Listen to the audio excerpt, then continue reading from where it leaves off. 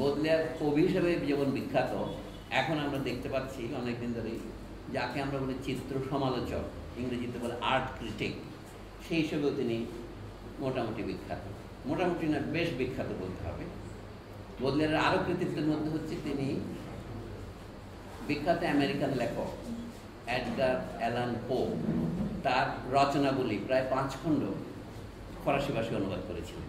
যেগুলো এখনও ফরাসি দেশের স্কুল কলেজে পড়ানো হয় বদলাটের অনুবাদে আমি তার অন্যান্য কৃতিত্বের মধ্যে তিনটার কথাই বললাম। আজকে আমি কথা বলব যে তার চলচ্চিত্র সমালোচনা, চিত্র সমালোচনা। আমাদের দুটো কথা আমরা এখানে বলি।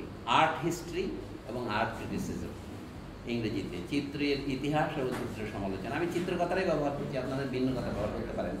আমরা যদি সবাই একমত হই, তাহলে আলোচনা করার কোনো অর্থ নাই। আশা করি আপনারা দ্বিমত করবেন এবং দ্বিমতের উপর আপনাদের প্রশ্ন মন্তব্য এই প্রবন্ধটার নাম হচ্ছে the painter of modern life ফরাসি থেকে অনুবাদ করা এক ভদ্রলোক অনুবাদ তার বইটা আমার হাতে আছে এখানে। এনার জোনাথন মেইন ব্রিটিশ ভদ্রলোক। এইটাতেই আমি অল্প করে কথা বলব। এই প্রবন্ধটার প্রকাশকাল আঠারোশো তেষট্টি। বদলিয়ারের মৃত্যু হচ্ছে আঠারোশো সাতষট্টি। মানে অর্থাৎ তার মৃত্যু চার বছর আগে লেগেছেন। প্রায় আঠারোশো ছেষট্টিতে তার স্ট্রোক হয়। তার মানে জীবনের শেষ ভাগে লেখা। উনি বেঁচে ছিলেন ছেচল্লিশ বছর মাত্র। তাহলে এই বই লেখার সময়, এই প্রবন্ধ লেখার সময় তার বয়স বিয়াল্লিশ বছর, তেতাল্লিশ বছর। এটা বলছি এই কারণে যে বদলিয়ার চিত্র সমালোচনা শুরু করেছেন আঠারোশো পঁয়তাল্লিশ সন থেকে, যখন তার বয়স চব্বিশ বছর। বদলিয়ারের প্রথম কবিতা যে বছর প্রকাশিত হয়, সেই বছরই তার প্রথম চিত্র সমালোচনা বের হয়। তখন বড় বড় চিত্র প্রদর্শনীগুলিকে ফ্রান্সে সালো বলতো। এবং তিনি আঠারোশো পঁয়তাল্লিশ, আঠারোশো ছেচল্লিশ এই দুই বছরের স্যালোর উপর যত শিল্পীর প্রদর্শনী হয়েছে, সবার উপরে তিনি ওখানে লিখেছেন। এগুলো আলাদা বই আকারে বেরিয়েছে।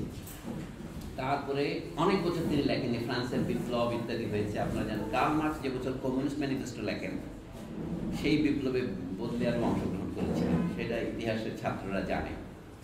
তখনও তার বয়স কম। তারপরে বিপ্লবের পরাজয়ের সময় তিনিও নিজেকে পরাজিত মনে করেছেন।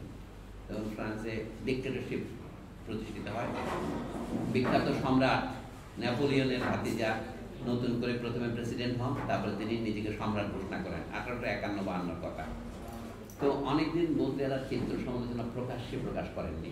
আঠারোশো উনষাট সনে আরেকটা সমালোচনা প্রকাশ করেন বই। ওইটা দিয়ে salon of eighteen fifty nine তাহলে eighteen forty five eighteen forty six eighteen fifty nine সেই সময় এই প্রবন্ধটা উনি লেখেন এবং এটা প্রকাশিত হয় চার বছর পরে। এইটুকু আমি তার রচনাগুলি থেকে খবরটা জানি। তো এই প্রবন্ধের বিষয়বস্তু কি দ্য পেইন্টার মডার্ন লাইফ এই যে ছবিটা দেখছেন, স্যার এখানে আসতে পারি আমরা। এগুলো আমার সব নোট মাত্র। আমি খুব একটা অ্যাকমপ্লিশ চিত্র সমালোচক নই। বোদলের প্রবন্ধটা পড়ে আমি খানিকটা মনে করি যে উত্তেজিত বোধ করেছি। সেটা আপনাদের সাথে ভাগাভাগি করা। আমার বক্তৃতার উদ্দেশ্য হচ্ছে বোদলের এই লেখার সাথে পরিচয় করে দেওয়া। লেখাটা বড়। এই ধরনের ক্ষুদ্র বই তো এটা প্রায় ধরেন তিরিশ পৃষ্ঠা। পঁয়ত্রিশ পৃষ্ঠা ছোটো টাইপের এই ভদ্রলোকের নাম হচ্ছে ফরাসি ভাষায় বলে কনস্তাতা গি, ইংরেজিতে বলে কনস্টান্টিন গিজ মনে হবে। এই বুড়া দেখতে পাচ্ছেন তার বুড়া বয়সের ছবি নিচে লেখা আছে, নাদা বলে বিখ্যাত এক ফটোগ্রাফার ছিলেন সেই যুগের। প্রথম যুগের চিত্রগ্রাহকদের একজন শ্রেষ্ঠ হচ্ছেন নাদা, যিনি বদলের বহু সুন্দর ছবি তুলেছেন। এটা হতো তার ডাক নাম এই যে কনস্তাতা গি অ্যাজ অ্যান ওল্ড ম্যান। এই ভদ্রলোক সম্পর্কেই বদলের এই প্রবন্ধটা লিখেছেন। আপনি যদি জিজ্ঞাসা করেন, এই প্রবন্ধের বিষয়বস্তু কি? কস্তাতা গির চিত্রকর্ম। কিন্তু এই লোকের নাম আপনারা অনেকেই শোনেন নাই। যেমন আমিও বহুদিন শুনি নাই। তো তার পরিচয় সূত্র দুইটা আমার। বদলের যে বিখ্যাত কবিতার বই, যেটাকে লোকে অনুবাদ করেছে ক্ল্যাদজ কুসুম অশুভের ফুল ইত্যাদি, লে ফ্লাওয়ার দু মাল বলে ফ্রেঞ্চ ভাষায়, ফ্লাওয়ার সেখানে প্যারিস স্বপ্ন বলে একটা কবিতা আছে। মানে প্যারিসিয়ন ওইটা ইনাকে উৎসর্গ করে। আমি একটা সূত্র বলছি। এই লোক প্রথম ছবি আঁকা শুরু করে যখন বয়স বিয়াল্লিশ বছর। তারপরে প্রায় কুড়ি বছর পর্যন্ত তিনি খসড়া শিল্পী ছিলেন। অর্থাৎ বুড়ো বয়সে তারপরে তার চিত্র অঙ্কনে যাই বলেন, সিদ্ধি আসে।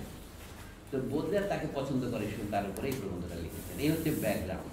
বোধলেয়ার তৎকালে যাদের উপর লিখেছেন তাদের দু একজনের নাম আমরা সকলেই জানি। সবচেয়ে বিখ্যাত হচ্ছেন, যাকে ইংরেজিতে আমরা ইউজিন ডেলাক্রোয়া বলি ডেলাক্রোয়া তারপরে আরেকজন আছে এডওয়ার্ড মনে। এগুলো বোদলেয়ারের প্রিয় চিত্রশিল্পী। দমিয়ের ইত্যাদি। যারা সাধারণভাবে আমরা চিত্রশিল্পের ইতিহাস জানি ঊনবিংশ শতাব্দীর ইমপ্রেশনিস্টদের আগে, এদের নাম সকলে জানে। কিন্তু এনার সম্পর্কে উনি বিশেষভাবে যেটা বলবার বলেছেন, সেটাই বলছে যে চিত্রশিল্পী হিসেবে খুব বিখ্যাত নন। কিন্তু বিখ্যাত না হলেও তার চিত্রকর্ম বদলেয়ারের মতো কবির দৃষ্টি কেন আকর্ষণ করল? এটা হচ্ছে আমাদের মানে বক্তব্য বিষয়। বগদেয়ারের শিল্প দৃষ্টি সম্পর্কে নানা বিতর্ক থাকার পরেও সকলে মনে করেন যে তিনি একজন গুরুত্বপূর্ণ। কবি শুধু নন, শিল্প বিচারক এইটাই আমি কিছুটা রিভিউ করব আপনাদের সাথে।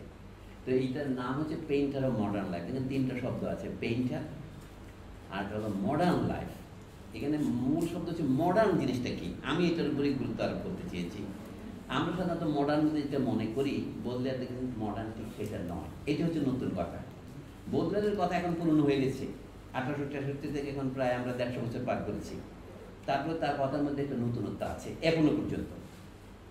সেই জন্য উনি বলছেন, আমরা সাধারণত মনে করি কি, প্রাচীন যুগ মধ্যযুগ আধুনিক যুগ। এটা সাধারণ মানুষের ধারণা। বললে এভাবে দেখছেন না। উনি বলেন প্রত্যেক যুগেই একটা আধুনিকতা থাকে। যে কালে যেটা আধুনিক মানে এখন যেটাকে আমরা ক্লাসিক বা অ্যান্টিকুইটি বলছি, সেটা তার যুগে আধুনিক ছিল বলেই এখন এখন দ্রুপদী বা বনিয়াদি হয়েছে। কাজে বর্তমানে যে শিল্পগুলো চলছে, এটা বর্তমানে বলেই তো আধুনিক নয়। এর মধ্যে যেটা টিকবে সেটাই আধুনিক। তাহলে কীভাবে টিকবে কীভাবে টিকবে না? উপদেশ বা উদাহরণ ভালো। এই জন্য আমি আপনাদের আগে তার কয়েকটা ছবি দেখাই। উনি বলেন ভদ্রলোক কেমন চিত্র করছিলেন? যে উনি অজস্র আঁকতেন এবং অধিকাংশই পেন্সিল দিয়ে আঁকতেন। মানে তারপরে তার জীবনীটা বলছি এখন যে ইউক্রেন যুদ্ধ চলছে, সেরকম ক্রিমিয়ার যুদ্ধ শুরু হয়েছিল আঠারোশো চুয়ান্ন সনে। আপনারা অনেকেই জানেন, রাশিয়ার বিরুদ্ধে যুদ্ধের মধ্যে তখন ফ্রান্স, ইংল্যান্ড, তুরস্ক এরা যুক্ত হয়েছে। তুরস্ক মানে তুর্কি সুলতান, উসমানিয়া সাম্রাজ্য। তখন এই কস্তাতা গি সাহেব সেখানে গিয়েছিলেন। রিপোর্টার হিসেবে। কি তখন মাত্র ফটোগ্রাফি শুরু হয়েছে, একজন চিত্রকরও গিয়েছিলেন ওই জায়গায়। মানে যাকে আমরা বলি ফটোগ্রাফার আলোকচিত্রীও গিয়েছিলেন, কিন্তু ইনি তখন অন দ্য স্পট স্কেচ আঁকতেন। স্কচ এই স্কেচগুলো তিনি ইংল্যান্ডে পাঠাতেন। নাম ছিল ইলাস্ট্রেটেড লন্ডন নিউজ ওই পত্রিকার নাম। সেইখানে তার এই ছবিগুলো ওখানকার শিল্পীরা এনগ্রেভিং করতেন। এবং সেটা পত্রিকায় ছাপা হতো। দুঃখের বিষয় হচ্ছে তার অধিকাংশ ছবি নষ্ট হয়ে গেছে আর পাওয়া যায় না। ওই কিছু এনগ্রেভিং বেঁচে আছে। সেখান থেকে কিছু কিছু লোক এখন বইতে ছাপতেছে সেইগুলি আমি আপনাদেরকে দেখাবো। এই প্রবন্ধে এরকম এতগুলি ভাগ করেছেন ভদ্রলোক মানে বদলে সাহেব। আমি এক ইংরেজিতে লিখলাম অনুবাদ থেকে। যেমন প্রথম থেকে প্রথম ছয়টা, পাঁচটা হচ্ছে আপনার মোটামুটি থিওরি বলতে পারেন বাকিগুলো উনি কি বিষয়ে ছবি আঁকেন, তার আটটা বিবরণী আছে। আমি সংক্ষেপে বলে দেখবেন প্রথমে বদলে লিখেছেন, সুন্দর কাহাতে বলে? আমরা তো সকলেই চিকিৎসা এস্থেটিক্স কথার গোড়ার মধ্যে আমরা সুন্দর নিয়ে যাই। বিউটি ফ্যাশন অ্যান্ড হ্যাপিনেস আমি অতি সংক্ষেপে বলছি ইন্ডেক্স আকারে উনি বললেন, কোনো যুগে সুন্দর সম্পর্কে আমাদের ধারণা কিনা বুঝব কীভাবে? বলে নর নারী যখন রাস্তায় আপনি দাঁড়িয়ে দেবেন, বাংলাদেশে দাঁড়িয়ে দেখা যায় কত লোক ম্যাল নিউট্রিশনে ভুগতেছে আর কত লোক স্বাস্থ্যবান। আপনি যদি কোনো ওভার ব্রিজে দাঁড়িয়ে দেখেন, মানুষের সাধারণ চেহারা দেখলে বোঝা যায় মানুষ যতই বাইরে বলুন না কেন বাংলাদেশের লোক সবচেয়ে সুখী। কিন্তু চেহারা দেখলে বোঝা যায় লোকের চেহারার মধ্যে কীরকম কষ্টের চিহ্ন। তো এই জন্য বলেছি উনি মানুষের সৌন্দর্যের ধারণা বোঝার একটা সহজ উপায় হলো। বদলারি বলছেন যে তার পোশাক আশাকের মধ্যে সে কি ভঙ্গি, কি ধরনের পোশাক পরে? এবং সেইটার গুরুত্বপূর্ণ প্রশ্ন বোঝেন এটা বদলায়। ফ্যাশন যেটাকে আমরা বলি। এখন খ্রিস্টিয়ান দিওর পর্যন্ত যদি আসেন ওরা এগুলিকে আয়ত্ত করে যুগের জন্য ফ্যাশনকে তারা উপর থেকে আরোপ করে, এটা আমি স্বীকার করি। উনি বলেন, কোন সমাজের ওই সময়ের বিরাজমান সুন্দরের ধারণার জন্য সেই যুগের শ্রেষ্ঠ শিল্পের কাছে যাওয়ার দরকার নাই। সাধারণ মানুষ যে পোশাক আশাক পরে, তাতে তার সৌন্দর্যের পরাকাষ্ঠাটা প্রকাশ করে সে। ওই যুগের সৌন্দর্য সংক্রান্ত ধারণা তার ফ্যাশনে পাওয়া যাবে। একটা উদাহরণ দিয়ে বলছি, ফ্যাশনের মধ্যে একটা হচ্ছে পোশাক, তার বাড়িঘর কীভাবে নির্মাণ করে, তার স্থাপত্য কী, তার ভাস্কর্য কী ইত্যাদি। সহজ কথা হলো সে কোন ধরনের পোশাক পরে? যেমন এখন দেখবে আমাদের, অধিকাংশ বাংলাদেশের ছেলেমেয়েরা আন্ডারওয়্যার পরে বাইরে যায়। আন্ডারওয়্যার মানে টি শার্ট বলেন আপনার। এটা আন্ডারওয়্যার কিন্তু এইটা পড়তে আপনি মনে করছেন খুব আধুনিক। আবার আমরা যারা প্রাচীন বলতেছি ডক্টর আব্দুল হাইয়ের মতো, আমরা আবার পাঞ্জাবি না পরে বড় বড় সবার মধ্যে যাই না। মানুষের মধ্যে দেখেন কোনটা যুগের শিল্প আমি জানি না, আপনি একটা অ্যাভারেজ নেবেন। বললেন এটা নিয়ে বলছেন, সৌন্দর্য সম্পর্কে কেউ বিশেষ করে একটি বিখ্যাত ফরাসি উপন্যাসিক ছিলেন স্তদাল তো উনি বলছেন কি বলে beauty is the promise of happiness তো এখন আপনি যদি জিজ্ঞাসা করেন, আবার হ্যাপিনেস কি জিনিস? একটা আপনার একটা প্রশ্ন করতে থাকবেন বদলের এই বিষয়ে বলছে যে, সৌন্দর্যের ধারণাটা ক্রমশ বদলাতে পারে। কিন্তু সবটুকু বদলায় না। সৌন্দর্যের মধ্যে একটা স্থায়ী ধারণাও আছে। এই হচ্ছে বদলের আধুনিকতার সংজ্ঞা দেওয়ার প্রথম সূত্রপাত। যে সৌন্দর্য বলতে যা বুঝি তার মধ্যে একটা চিরন্তন আছে আর একটা ক্রম পরিবর্তনশীল আছে। এই দুই উপাদান নিয়ে সৌন্দর্য হয়। একলা, অনেকে মনে হয় চির সুন্দর প্রকৃতি সুন্দর। বললে বলে প্রকৃতি কেমন সুন্দর হয়?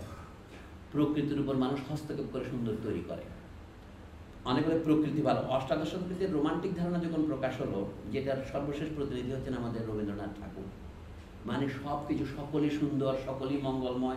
কথাটা হলে তো ভালো হতো। মহাত্মা গান্ধীকে উনিশশো একত্রিশ সনে লন্ডনের সাংবাদিকরা জিজ্ঞাসা করেছিল, mister Gandhi, what you think of western civilisation? আমি বহুবার বলেছি এটা। তো গান্ধীজি বলছিলেন western civilisation that would be a good idea পাশ্চাত্য সভ্যতার মধ্যে কিছু আছে নাকি? থাকলে তো ভালো হতো। তা আমি বলছি, রবীন্দ্রনাথ ঠাকুর যে অমঙ্গল, মঙ্গলের নানা যে দিয়েছেন, আমি যদি সত্যি মঙ্গল থাকতো তো ভালো হতো। অষ্টাদশ শতাব্দীর রোমান্টিক যাদের বলা হয়, তারা বলছে যে প্রকৃতি হচ্ছে সুন্দর এবং মঙ্গলের পরাকাষ্ঠা। বলতে সরাসরি এটা বিরোধিতা ওদের প্রকৃতি হচ্ছে অরিজিনাল সিন যারা খ্রিস্টান নন, তারাও জানেন অরিজিনাল সিন কে বলে। যেটা বলে মানুষের মাংসের যে চাহিদা এটাকে উনি অরিজিনাল সিন বলছেন অর্থাৎ প্রকৃতি মানুষ কিন্তু ক্রাইম শিখায়, বলতে আর বলছেন যখন আপনি অতি কম প্রয়োজন, প্রকৃতি আমাদের কি শেখায়? ঘুমাতে বলে বডি ঘুম পায়, পরিশ্রম করলে। খেতে বলে, পান করতে বলে আরও দু একটা বলে সেগুলো আমি উচ্চারণ করছি না। এরপরে যখন আপনার বিলাস এবং বিকাশের প্রশ্ন আসে তখন আর প্রকৃতি না, প্রকৃতি মানুষকে শিখিয়েছে নিজের ভাইকে খুন করতে। তাকে জেলখানে ঢুকিয়ে রাখে, তাকে টর্চার করতে। এগুলো আমার কথা নয় বলদের কথা। তাকে গুম করতে। তো উনি বলছেন, প্রকৃতি হচ্ছে স্বার্থপরতা। কাজে প্রকৃতি নয়, প্রকৃতির বিরুদ্ধে সংগ্রাম করে সৌন্দর্যের ধারণা মানুষ তৈরি করেছে। এই জন্যই ফ্যাশন। প্রকৃতি যথেষ্ট হতে আমরা ন্যাংটা থাকলে পারতাম। পোশাকটা আমরা শুধু পরি শীত, গ্রীষ্মের বিরুদ্ধে নয়। আমি এখানে রং আরোপ করি কেন? ডিজাইন করি কেন? তো বদলে বলছেন, প্রকৃতির বিরুদ্ধে যাওয়াই হচ্ছে মানুষের কৃতিত্ব। কথাগুলি আমার কাছে অনেকটা মনে হবে ইংরেজিতে বলে আর কি, একটু স্টান্টের মতো। সেই জন্য চলেন আমি দেখা জন্য কী কী করলেন একটা যুগের মানুষ কীভাবে চলাফেরা করে, মানুষের মানুষ কীভাবে দাঁড়ায়, কীভাবে পা রাখে, একদল লোক আছে যারা, যাদের আমরা ফুলবাবু বলি বাংলায় ইংরেজিতে বলে ড্যান্ডি। বদলে তাদের সম্পর্কে লিখেছেন, একটা সেক্টর পাবেন। তারপরে তিন নম্বরে লিখছেন এই কনস্টান্তা গি লোকটা কীভাবে স্কেচ করে? তার জীবনীটা লিখছেন the artist man of the world man of the crowd and child বলতে দুটো কথা। উনি তৎকালীন শিল্পীদের সমালোচনা করে বলছেন যে এরা একজন শিল্পী নয়, কারণ সে পৃথিবীতে, শিল্পীরা শিল্পীদের সাথে কথা বলে, শিল্পীরা শিল্পীদের এর কলা কেন্দ্রের মধ্যে বসে থাকে। তারা বাইরে বারান্দা যায় না, মোহাম্মদপুর বাস স্টেশন পর্যন্ত যাইতে তাদের খারাপ লাগে। তো উনি বলছেন, এই শিল্পীরা হচ্ছে তাৎকালীন শিল্পীদের। তারা হলো not man of the world they are man for them কিন্তু আমার এই বন্ধু, কি হয়েছে স্যার? এই যে artist man of the world man of the crowd উনি সারা পৃথিবীর মানুষ। যেমন তখন ওই যুদ্ধে জড়িত ছিল বুলগেরিয়া, টার্কি, আর অন্যান্য দেশ, ইটালিয়ানরা পিয়েডমন বলতো তখন। এই সব দেশে উনি ভ্রমণ করেছেন। বিশেষ করে তুর্কিতে তিনি ভ্রমণ করেছেন, ক্রিমিয়াতে তো করেছেনই। ক্রিমিয়ার যুদ্ধে এখন দেখেন তার নাটকটা প্রায় পুরো অভিনয় হচ্ছে, শুধু টেকনোলজিটা বদলেছে। এখন এটা ইউক্রেনের যুদ্ধ হয়েছে। তার ওই শব্দগুলো সব নাম পাবেন খ্যারসন বাকলাবা বালাক্লাবা সব নাম এখানে আছে ওই যুদ্ধের সময়। টলস্টো যখন প্রথম গল্পের বইটা লেখে সেবাস্তপুল টেলস অফ সেবাস্তপুল টলস্টো ওখানে তখন সাতাশ বছর বয়সে ওখানে যুদ্ধ করতেন। যুদ্ধের যে বিভীষিকা, সেটি টলস্টো যেভাবে বর্ণনা করেছেন, তার পরবর্তী উপন্যাসও আছে, তার তাদের উপরে লেখা কসাক বই আছে সবগুলিতে কিন্তু এই যুদ্ধবিরোধী মনোভাবটা আছে। এটা তিনি শিখেছেন এই তৎকালীন ক্রিমিয়ার যুদ্ধে, আঠারোশো চুয়ান্ন সনে সেই যুদ্ধে। তখন ইংল্যান্ড যা করেছিল, ফ্রান্স যা করেছিল, তুর্কি যা করেছিল, এখনও ন্যাটো তাই করছে। এটা আমার মত, আপনারা নাও মানতে পারেন। আমি বলছি যে বর্তমানেও সেটার পুনরভিনয় হচ্ছে। কিন্তু তখন এত বেশি উন্নত টেকনোলজি ছিল না। কস্তাতা যুদ্ধক্ষেত্র থেকে, মাঝে একটা ছবিতে লিখছে মানে টেক এন অন স্পট তো বোধদের তাকে প্রশ্ন করছেন, আধুনিক জীবন মধ্যে যেটা বলি, যে জীবন ক্রম পরিবর্তনশীল, সেটা ছবি অনেক আর্টিস্ট মনে করেন এগুলো ছবি আঁকার বিষয় হতে পারে না। কিন্তু গীতা মনে করেন নাই, এটা তার প্রথম গুরুত্ব। বুদ্ধের অন্য শিল্পীদের গালি দিয়েছেন, বলে they are stupids but he is intelligent এখন লোকে বোধের সমালোচনা করে বলছে বোধের চিত্রের কি জানে? কস্তা গির নাম তখন কেউ নেয় না। সেই লোকের বৈশিষ্ট্য সম্পর্কে একটা মজার কথা আছে কি বোধলের তার সাথে দেখা করার চেষ্টা করেছেন। তখন সে বদলের সাথে দশ বছর দেখা করে নেই আমরা জানি শিল্পীরা কি করে। নিজের একটা ছবি দিলে কিউরেটর হওয়ার জন্য তো বান্ধবীদের কাছে আসে আর বন্ধুদের ফোন করতে থাকে যেন দেখতে আসে। কিন্তু ওই লোক কোনো রকমের নামের ধার ধারত না। বদলেকে একটা শর্তে সে ইন্টারভিউ দিয়েছে যে আমার নাম ব্যবহার করতে পারবে না। শিল্পী হিসেবে সে বলে, যার মধ্যে অহমিকা পুরা হয়ে গেছে শিল্পী, সে তো ছবি আঁকবে কীভাবে? আপনার প্রচলিত অভিজ্ঞতার সাথে মিলবে না এটা। এই জন্য বদলে তার নাম ব্যবহার করে নাই। বলছে কি, মসিউ জি। ফরাসিতে মসিউ সে বলবে। আমরা ইংরেজিতে গি মানে জি, ইংরেজিতে জি বলি আর কি। ও একবার লিখছে এম জে, আবার লিখে শুধু জি। এটার পুরো বইতে বদলে বলে, ধরুন এই লোকটা নাই। আমি লোকটা নাই ধরে নিচ্ছি, কিন্তু তার ছবিগুলো নিয়ে আসলে আলোচনা করি। ছবি তিনি কি এঁকেছেন? দিস ক্যাচ অফ ম্যানার্স মানুষের চাল চলন কে কোন বলছেন? আমাদের দেশে এই ধরনের কিছু কিছু বই নকশা চিত্রে এঁকেছিলেন। হুতুম, পেচার নকশা, আলালের ঘরের দুলা ওই সময়ের সমসাময়িক কিন্তু এই প্রবন্ধ, খেয়াল করবেন। আঠারোশো মধুসূদন ভার্সাই শহরে গেছেন দু বছর পরে, আঠারোশো পঁয়ষট্টিতে সেই সময়ের কথা। মনে রাখতে হবে এটা, ফ্রান্সের আধুনিক যুগ শুরু হয়েছে। তারপরে দেখেন মডার্নিটিকে এই কথাটা বদলে চতুর্থ দিয়ে ব্যাখ্যা করেছেন। তারপরে ব্যাখ্যা করেছেন, এই কনস্টান্টাইন গি সাহেব আঁকেন কীভাবে? আপনারা অধিকাংশ শিল্পী যারা জানেন মডেল দেখে আঁকে লোকে। ফটোগ্রাফ দেখে আঁকে বলছি, না, একটা মডেল সামনে বসায় রাখতে হয়। এটা অল্প অল্প করেন বদলে বলছেন, না, ভালো শিল্পীরা মডেল দেখে আঁকে না। এটা হলো ছাত্রদের কাজ। সে স্মৃতি থেকে আঁকে। উনি দেখাচ্ছেন, আমি বলে অনেকে বলতে পারবে, রাফায়েল, ওয়াত্তু, এই সমস্ত বহু শিল্পী আছে, তারা তো মডেল দেখে আঁকতো এবং ভালো এঁকেছে। উনি তার বিপরীত উদাহরণ দিয়েছেন, এই লোক একেবারে মডেল দেখে আঁকতো না। মানে দেখতো, উনি বলেন প্রথমে ফটোগ্রাফের মতো দেখতেন তাহলে মাথার মধ্যে একটা ইমপ্রেশন নিলেন।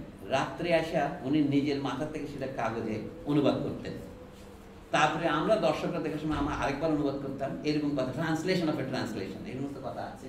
এটার নাম হচ্ছে নেমোনিক আর্ট মানে art of memory not art of model আরেকটা হলো, এখন তার বিভিন্ন বিষয় নিয়ে উনি আলোচনা করবেন কী কি কি তিনি লিখেছেন? আলোচনা করেছেন? একটা হলো অ্যানাউন্স অফ ওয়ার এই যে ক্রিমিয়ার যুদ্ধের যুদ্ধে সৈনিকদের দেহে যে কি সৌন্দর্য আছে, যারা সবসময় মৃত্যুর জন্য প্রস্তুত, এবং যারা যাকে বলা হয় যে কোনো মুহূর্তে প্রাণ যেতে পারে, আক্রান্ত হতে পারে, তখন তাদের চেহারায় উনি নাম দিয়েছেন এক ধরনের নন চ্যালেঞ্জ কোল্ডনেস কামনেস মানে উষ্ণতাবিহীন, মৃত্যুর জন্য প্রস্তুত থাকা। তাদের বোতামটা কি করে লাগাইছে? যুদ্ধের মধ্যে কি পালিশ করেছে? এইসব শিল্পী দেখে এবং সেই জিনিসগুলো এঁকেছেন। তারপরে আর কথা আছে, অনেক আহত লোককে হাসপাতালে নিয়ে যাওয়া হচ্ছে, অ্যাম্বুলেন্সে করে। এই সবগুলো নিষ্কে আমি কিছু কিছু দেখাবো ছবি এখানে এগুলো। ছবিগুলো খুব ভালো নয়, যেহেতু ব্ল্যাক অ্যান্ড হোয়াইট এবং ওই এনগ্রেভিং এর এনগ্রেভিং কাজে আপনারা পাবেন না, শুধু আউটলাইনটা পাবেন। তারপরে হচ্ছে পমস অ্যান্ড সার্কমস্ট্যান্সেস এর মানে হচ্ছে যখন রাজবাড়িতে যাবেন সেখানে রাজা মহারাজারা কী ধরনের ক্যারেজে চলে, মেয়েদের নিয়ে খুব মজার মজার আছে। যেমন তুরস্কের সুলতানকে নিয়ে বহু ব্যঙ্গ করেছেন। বিশাল বপু। একটা পাতলা ঘোড়ার উপর বসেছে, এই সমস্ত কাহিনী আছে। এক ধরনের দেখেন কেরিকেচার বোদলেয়ারের মতো হচ্ছে আধুনিক বলতে উনি যা বোঝেন, সেই শিল্পের জন্মের একটা প্রাথমিক রূপ। মানে আমরা অনেকে মনে করি যে ভালো শিল্পের মধ্যে ক্যারিকেচার করে না। কিন্তু উনি দেখালেন যে করে।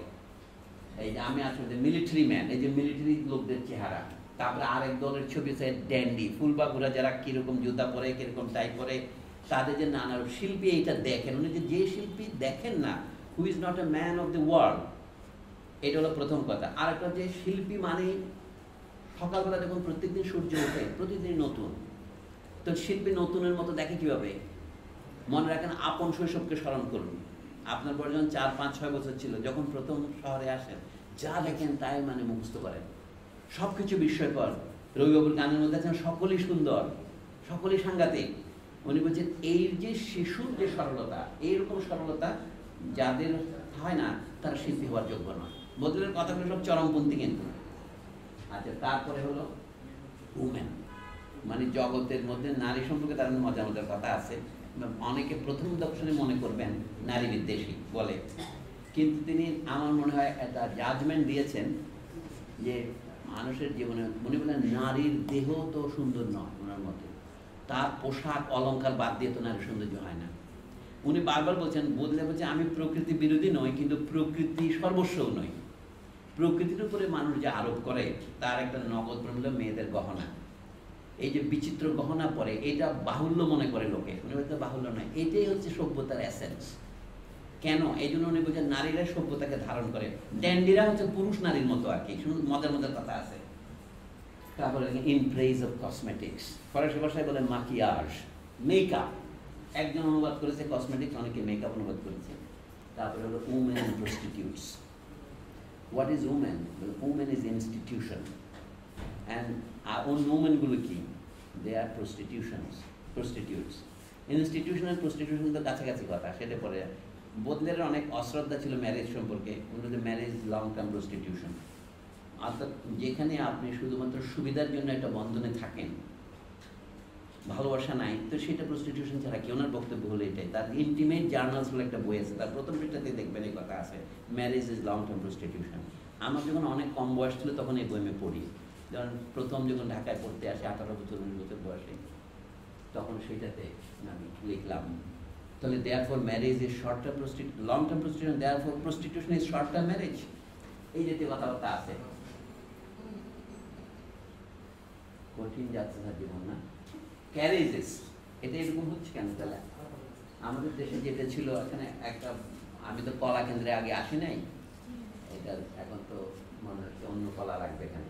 ক্যারেজেস অর্থাৎ ঘোড়ার গাড়িগুলিকেও কীভাবে এঁকেছে শিল্পী কি কি দিয়েছে আটটা বিষয় বুঝতে দেখেন annals of what to carriages তার এখন চালানোর বিষয়ে যাই। হ্যাঁ আচ্ছা এইটা। বিউটি সম্পর্কে ওনার যে বক্তব্য, এটা হচ্ছে এটা আমি একটা ইংরেজিতে পড়েই বাংলা নগদ অনুবাদ করব। কারণ আমার তো মুখস্থ থাকবে না, এই জন্য।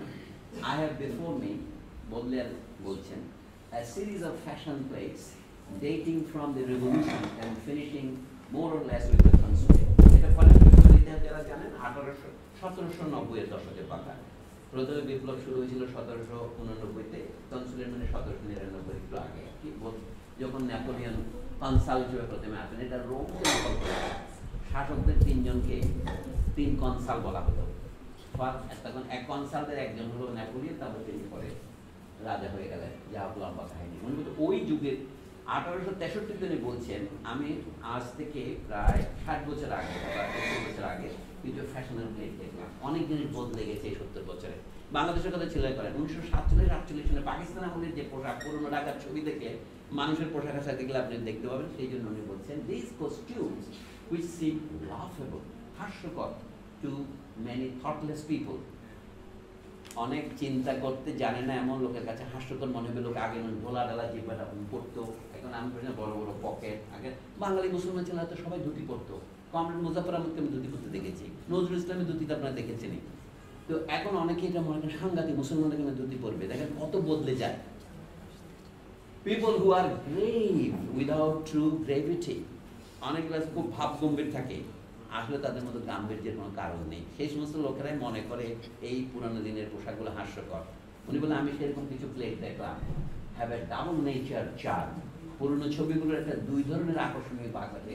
One both artistic and historic তার মানে সেই যুগে এটা আধুনিক ছিল। আমরা আগের দিনে একসময় আমাদের মানে লোকে স্টেডি পড়তো আপনাকে মনে হচ্ছে সিনেমার ফ্যাশন দেখলে হিরোরা কী কী পোশাক পরতো? এবং সেটা আবার লোক অনুবাদ করতো। আমাদের ছোট বয়সে দেখলাম লোকে ওয়াহিদ মুরাদের মতো চুল রাখে, নানা রকম ছিল। এগুলো এখন উনি বলছেন তার একটা ঐতিহাসিক মূল্য আছে আর তার নিজস্ব একটা শৈল্পিক মূল্য আছে, এটাকে উনি মডার্ন বলবেন। They are often very beautiful and drawn with wit wit কথাটার অনেক অর্থ আছে ইংরেজিতে, এটা হলো ভারতীয় যে ব্যাস শব্দটা সেটা একটা গ্রহের রূপান্তর। বিদ্যা কথা ওখান থেকে আছে আপনার অর্থনীতিবিদ বলেন এটা হচ্ছে সেই উইট উইট মানে শুধু রসিকতার মানে নয়।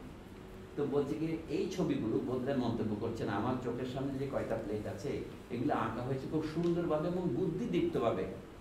এই কথাটাকে আমি বাংলা অনুবাদ করছি বুদ্ধিদীপ্ত। But what to me is every bit as important, and what I'm happy to find in all, or almost all of them, is the moral and aesthetic feeling of their time. এটা হচ্ছে বোধদের এক ফোঁটা রেখে মানে রেখে দিলাম কি বলে এক ফোঁটা দিলেন শিশির। তার শিশিরটা হচ্ছে এই পোশাকের মধ্যে ওই যুগের যেটাকে আমরা বলি নীতির বহিঃপ্রকাশ অভিব্যক্তি আছে। There is a moral element এই কথাটা আমাদের দেশে আলোচনা করা কঠিন। মোরালের সাথে এস্থেটিকের আবার কি সম্পর্ক? অ্যাস্থেশিয়া আমরা অ্যানেস্থেশিয়া সবাই বুঝি, কিন্তু অ্যাস্থেশিয়া বুঝতে একটু অসুবিধা হয়। তো সে কেউ খেলবেন যখন আপনার অ্যাস্থেশিয়া বন্ধ করে দিই, তখন তো অ্যানেস্থেশিয়া বলে। সিম্পলি এটা হলো বাংলা যদি এখন বলে, বেদনা পাই। আমি যে বেঁচে আছি, বেদনা পাচ্ছি এটা তো সেখান থেকে আমরা অ্যাস্থেটিক্স তৈরি করেছি। অনুবাদ করতে গিয়ে অনেক জিনিস হারিয়ে যায়। এই জন্য আমি স্যার, একটু যাই moral and aesthetic feeling of that time আমরা পাই। এই যে পেজগুলো দিয়েছি আমি, এই প্রবন্ধ কোন পেজ থেকে কোনটা নিয়েছি, এটা মোটামুটি এই জিনিসটা পড়ার চেষ্টা করেছি আমি।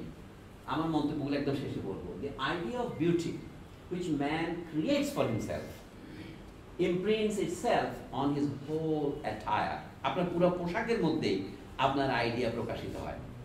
যদি বা এটা আপনি সচেতনভাবে করছেন, তা নয়। আমরা যুগের ফ্যাশনকে অনুসরণ করে অধিকাংশ লোকই। কেউ কেউ আছেন আপনারা যারা ফ্যাশন ডিজাইনার তারা মানুষেরকে নিয়ে ব্যবসা করেন। মানুষ কি পছন্দ করতে পারে, সেটা যখন আপনি বাজারে প্রজেক্ট করে নেবেন যে মানুষ যদি বলেন, লোকে খাবে কি না ভাষাটা খেয়াল করেন, লোকে খায়। ব্যবসায়ীরা এই শব্দ ব্যবহার করে। তাই যে বলছে, আর কি করে?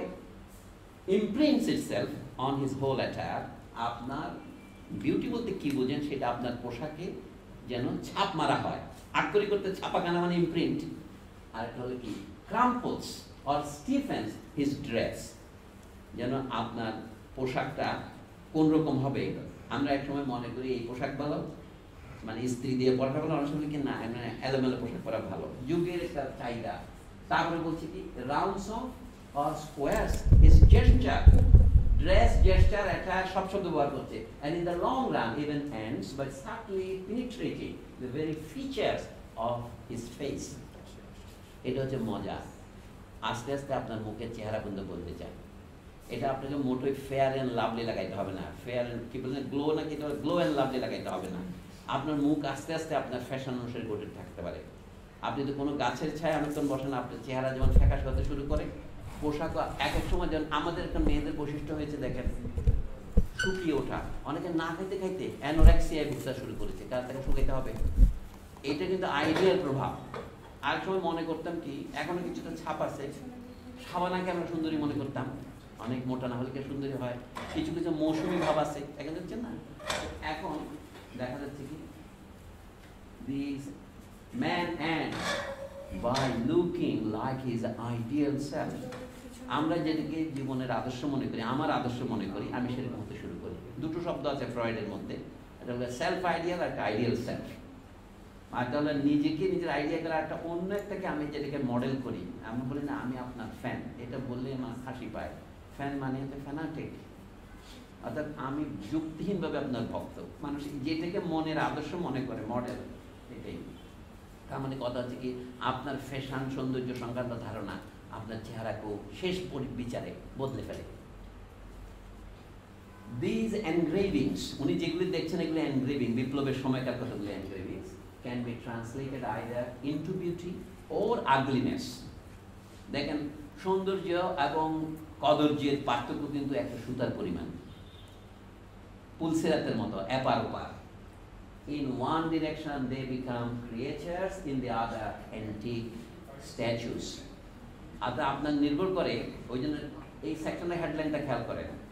বিউটি ফ্যাশন অ্যান্ড হ্যাপিনেস তো এই জন্য then beauty is made up of an eternal invariable element whose quantity is excessively difficult to determine অর্থাৎ সৌন্দর্যের মধ্যে একটি উপাদান হচ্ছে বোদলের মতে চিরন্তন।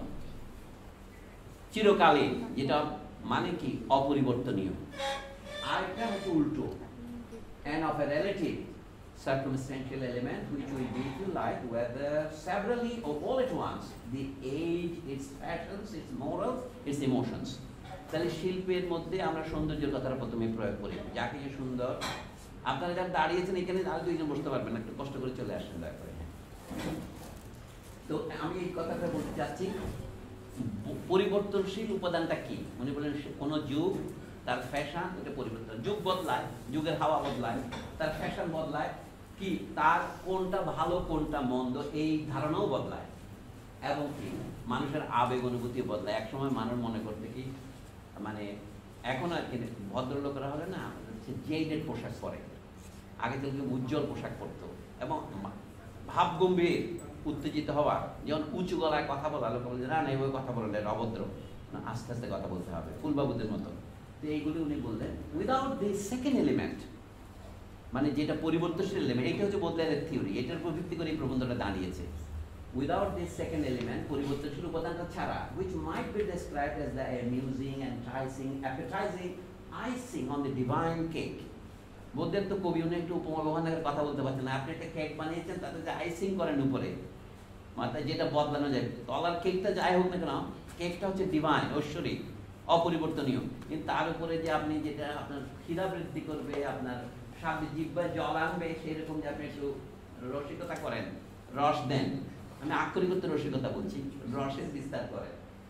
Might be described as the amusing enticing, এটা যেটা আপনাকে একবারে মানে ধরে রাখে। Appetizing, খিদা বৃদ্ধি করে। Icing on the divine cake the first element would be beyond our powers of digestion এটা যদি না হতো উপরে যদি আপনি আবরণটা না দিতেন, তাহলে আমাদের কেকটা পছন্দ নাও হতে পারতো। তাই আমি বলছেন without this it would be beyond our powers of digestion or appreciation. শিল্পের সমজদারি আমরা করতে পারতাম না যদি এই পরিবর্তনশীল উপাদানটা না থাকতো। Neither adapted nor suitable to human nature তাহলে বোধের নতুন কথা হলো কি, সৌন্দর্যের মধ্যে দুটো উপাদান আছে, একটা স্থায়ী, একটা অস্থায়ী। অথচ অস্থায়ীটাই হচ্ছে কম্পিউটারের কার্সারের মতো। এটাই নির্ধারণ করে আপনার এটার আসল অর্থ কি। আমি তো আরেকটু করে বলি, আমরা যখন বলি, এখানে তুতু ফেলিবেন না। এই নাটাই কিন্তু পুরো অর্থটাকে বদলে দেয়। কিন্তু ফেলিবেনের পরে না দেওয়ার পর আগের অর্থ, উল্টো অর্থ হয়। এরকম শেষের অংশটা অনেক সময় পুরো জিনিসের অর্থকে বিগড়ে দিতে পারে, শুধু বিভিন্ন উল্টা করতে পারে। এটা হলো রেট্রোস্পেক্টিভ ইফেক্ট পিছন থেকে অর্থকে বদলাতে পারে। এটার একটা ইঙ্গিত তুলে দিলেন। এখন এই লোকের কথা আসছে। কস্তাতা গি, এই লোকটা। উনি শিল্প সম্পর্কে অনেকের ধারণা, যাই হোক, বদলে যে যার কল্পনা শক্তি নাই মধুসূদনের একটা কবিতা আছে আপনারা কবি। কবিকে যে শব্দ শব্দে দে বিয়া। মানে কবির কল্পনা শক্তি হচ্ছে মানে সে বাগানের মধ্যে ফুলকে ফোটায়, নদীকে স্তব্ধ করে এই সুন্দর বোদলেয়ারের কথার মতো মধুসূদনের সে আঠারোশো পঁয়ষট্টিতে লেখা একটা সনের ওই ব্যবসায় শহর থেকে লিখে পাঠিয়েছিলেন। এটার নাম কবি। তো এই জন্য দেখাচ্ছে, ইমাজিনেশন হচ্ছে কবির আসল গুণ, আমাদের মধুসূদনের মতে। এখানেও একই কথাই হচ্ছে না। A passionate lover of crowds and incognitos. Monsieur C.G. carries originality to the point of shyness. বোধের বক্তব্য হচ্ছে, এই লোক এতই মৌলিক যে সে কাউকে এটা দেখাতেও চায় না, বলতেও চায় না। উনি পত্রিকা চাকরি করেন, স্কেচ পাঠান, London illustrated news, illustrated London নিউজে। আর ওখানকার লোকাল ফ্রান্সের পত্রিকা তো কয়টা ছাপাতেন তখন বোধের শেষ বক্তব্য শুনেন, বলে when at last I ran into him অনেকদিন তারা খুঁজতেছিলাম আমি। শেষ পর্যন্ত যখন তার মুখোমুখি হলাম I saw at once that it was not precisely an artist but rather a man of the world with whom I had to do আমার যার সাথে কারবার করতে হবে দেখলেন প্রচলিত আর্টিস্ট বলতে যা বোঝায় তেমন লোক নয়। মানে সে হচ্ছে দুনিয়াদারির লোক, সংসারী লোক। কীরকম? ওয়ার্ল্ড বলতে কি বোঝায়? বলে এই দেশ সেই দেশ নয় দুনিয়ার সব দেশই তার। কোনো দেশেই তিনি আস্তানা পাতে না, তার ভাষা ফরাসি।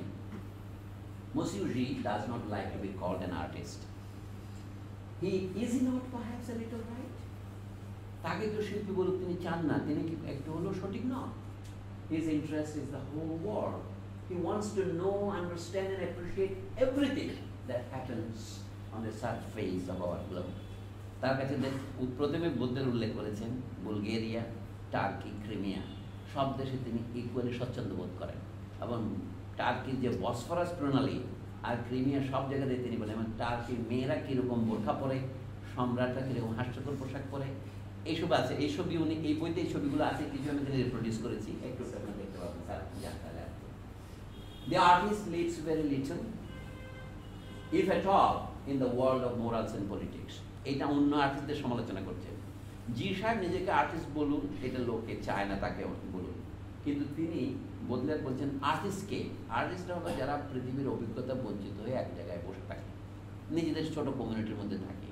এটা বদলের হয়তো সঠিক নন, কিন্তু তিনি যা বলছেন আমাকে তা বলতে হবে। তারপরে বলছে কোথায়? ইফ এটা প্যারিস মানে ফ্রান্সের দুইটা জেলার নাম করে বলছেন। If he lives in the Breda district he will be unaware of what is going on in the Faubourg Saint-Germain. প্যারিসের কতগুলো যে ফৌবুকে বিভক্ত আছে শহরের? মহল্লার মতো। সে এইখানে এই পাশের গ্রামে থাকলে ওই পাশের গ্রামে কেউ সে জানে না। আমরাও এটা সহজ মনে করি। আমাদের ঢাকা এখন অনেক বেশি মেট্রোপলিটন হয়েছে। সেই সময় প্যারিসের তুলনায়। মানে মানুষের যেটা বলা নিষ্প্রিয়তা পরশ প্রতিবেশীর প্রতি, সেটা আমরা করে শিল্পীদের সমালোচনা করে বলছেন। কিন্তু আমাদের এই লোক শুধুমাত্র নিজের ফ্রান্স নয়, সারা পৃথিবী ঘুরে আসেন। কেউ ঘুরে আসেন? Apart from one or two exceptions whom I need not name শিল্পীদের মধ্যে দুই একজন ছাড়া যাদের নাম বলার দরকার নাই অধিকাংশ শিল্পী এরকম। It must be admitted that the majority of artist are no more than highly skill animals pure artisans village intellects গ্রাম্য বুদ্ধিজীবী সবাই কটেজ ব্রেনস তাদের মগজে কুটিরের মতো বুদ্ধি। আপনি বলবেন চিজ তাদের মগজের মতো। গোবর বলেন নাই। Their conversation which is necessarily limited to the narrowest of circles becomes very quickly unbearable to the man of the world, to the spiritual citizen of the universe. যে লোক দেখতে চায় সারা পৃথিবীকে তার কাছে এই শিল্পীদের সাথে বেশিক্ষণ কথা বলা কঠিন হয়ে যায়। বুদ্ধের অবজারভেশন আছে। যিনি শিল্পী সমাজে অন্তত তখন বিশ বছর যাবৎ ঘোরাফেরা করছেন মানে ওই যুগের শ্রেষ্ঠ শিল্পী যারা তার বন্ধু সবাই। আচ্ছা তারপরে দি ক্রাউড আমাদের সাহেব কি করেন? Is a man of the crowd দুটো কথা খেয়াল রাখবেন। He is a man of the world is a man of the crowd and he is a child তিনি পৃথিবী বিহারী, তিনি লোকবিহারী এবং তিনি শিশু। এই তিনটা গুণ তার আছে। আমাদের অধিকাংশ শিল্পীর এই গুণটা নেই। তাই জন্য এনাকনি আমি পেইন্টার অফ মডার্ন লাইফ আগের পোশাক করা করতে কি তারা তাদের পাত্র পাত্রদের রাখার সময় তাদের গায়ে রোমান পোশাক দিয়ে দেয়। যদি বা চরিত্র, যদি বা এই যুগের হয়। হ্যাঁ উনি কিন্তু উনি বলছেন না, উনি আধুনিক পোশাকে আঁকেন। যে যেমন পোশাকে আছে এখন হয়তো এগুলো আমাদের জন্য ডালবাত হয়ে গেছে, কিন্তু তখন বলতে যখন এটা বলেন, তখন তার মধ্যে একটা নবীনত্ব ছিল। The crowd is his element তিনি জনগণের মধ্যে গেলে বলে জলের মধ্যে যেমন মাছ, বায়ুর মধ্যে যেমন পাখি, তেমনি জনতার মধ্যে আমাদের শিল্পী। আমাদের শিল্পী মানে কি এত আনন্দ বোধ করে the crowd is his element as the air is that of birds and the water of fishes his passion and his profession are to become one with the crowd এটা তার শুধু পেশা নয় এটা তার নেশাও। পেশানকে আমি অনুবাদ করলাম নেশা। তার নেশা এবং পেশা দুটি হচ্ছে জনতার মধ্যে মেশা। তারপর বলছেন for the flaneur for the passionate spectator এটা একটা ফরাসি অদ্ভুত শব্দ ফ্লানর যেটা ইংরেজি অনুবাদ আমরা করি না। যিনি মানে ঘুরে বেড়ান, কিন্তু আবার নিষ্পৃহ কিন্তু আবার বুদ্ধিমান।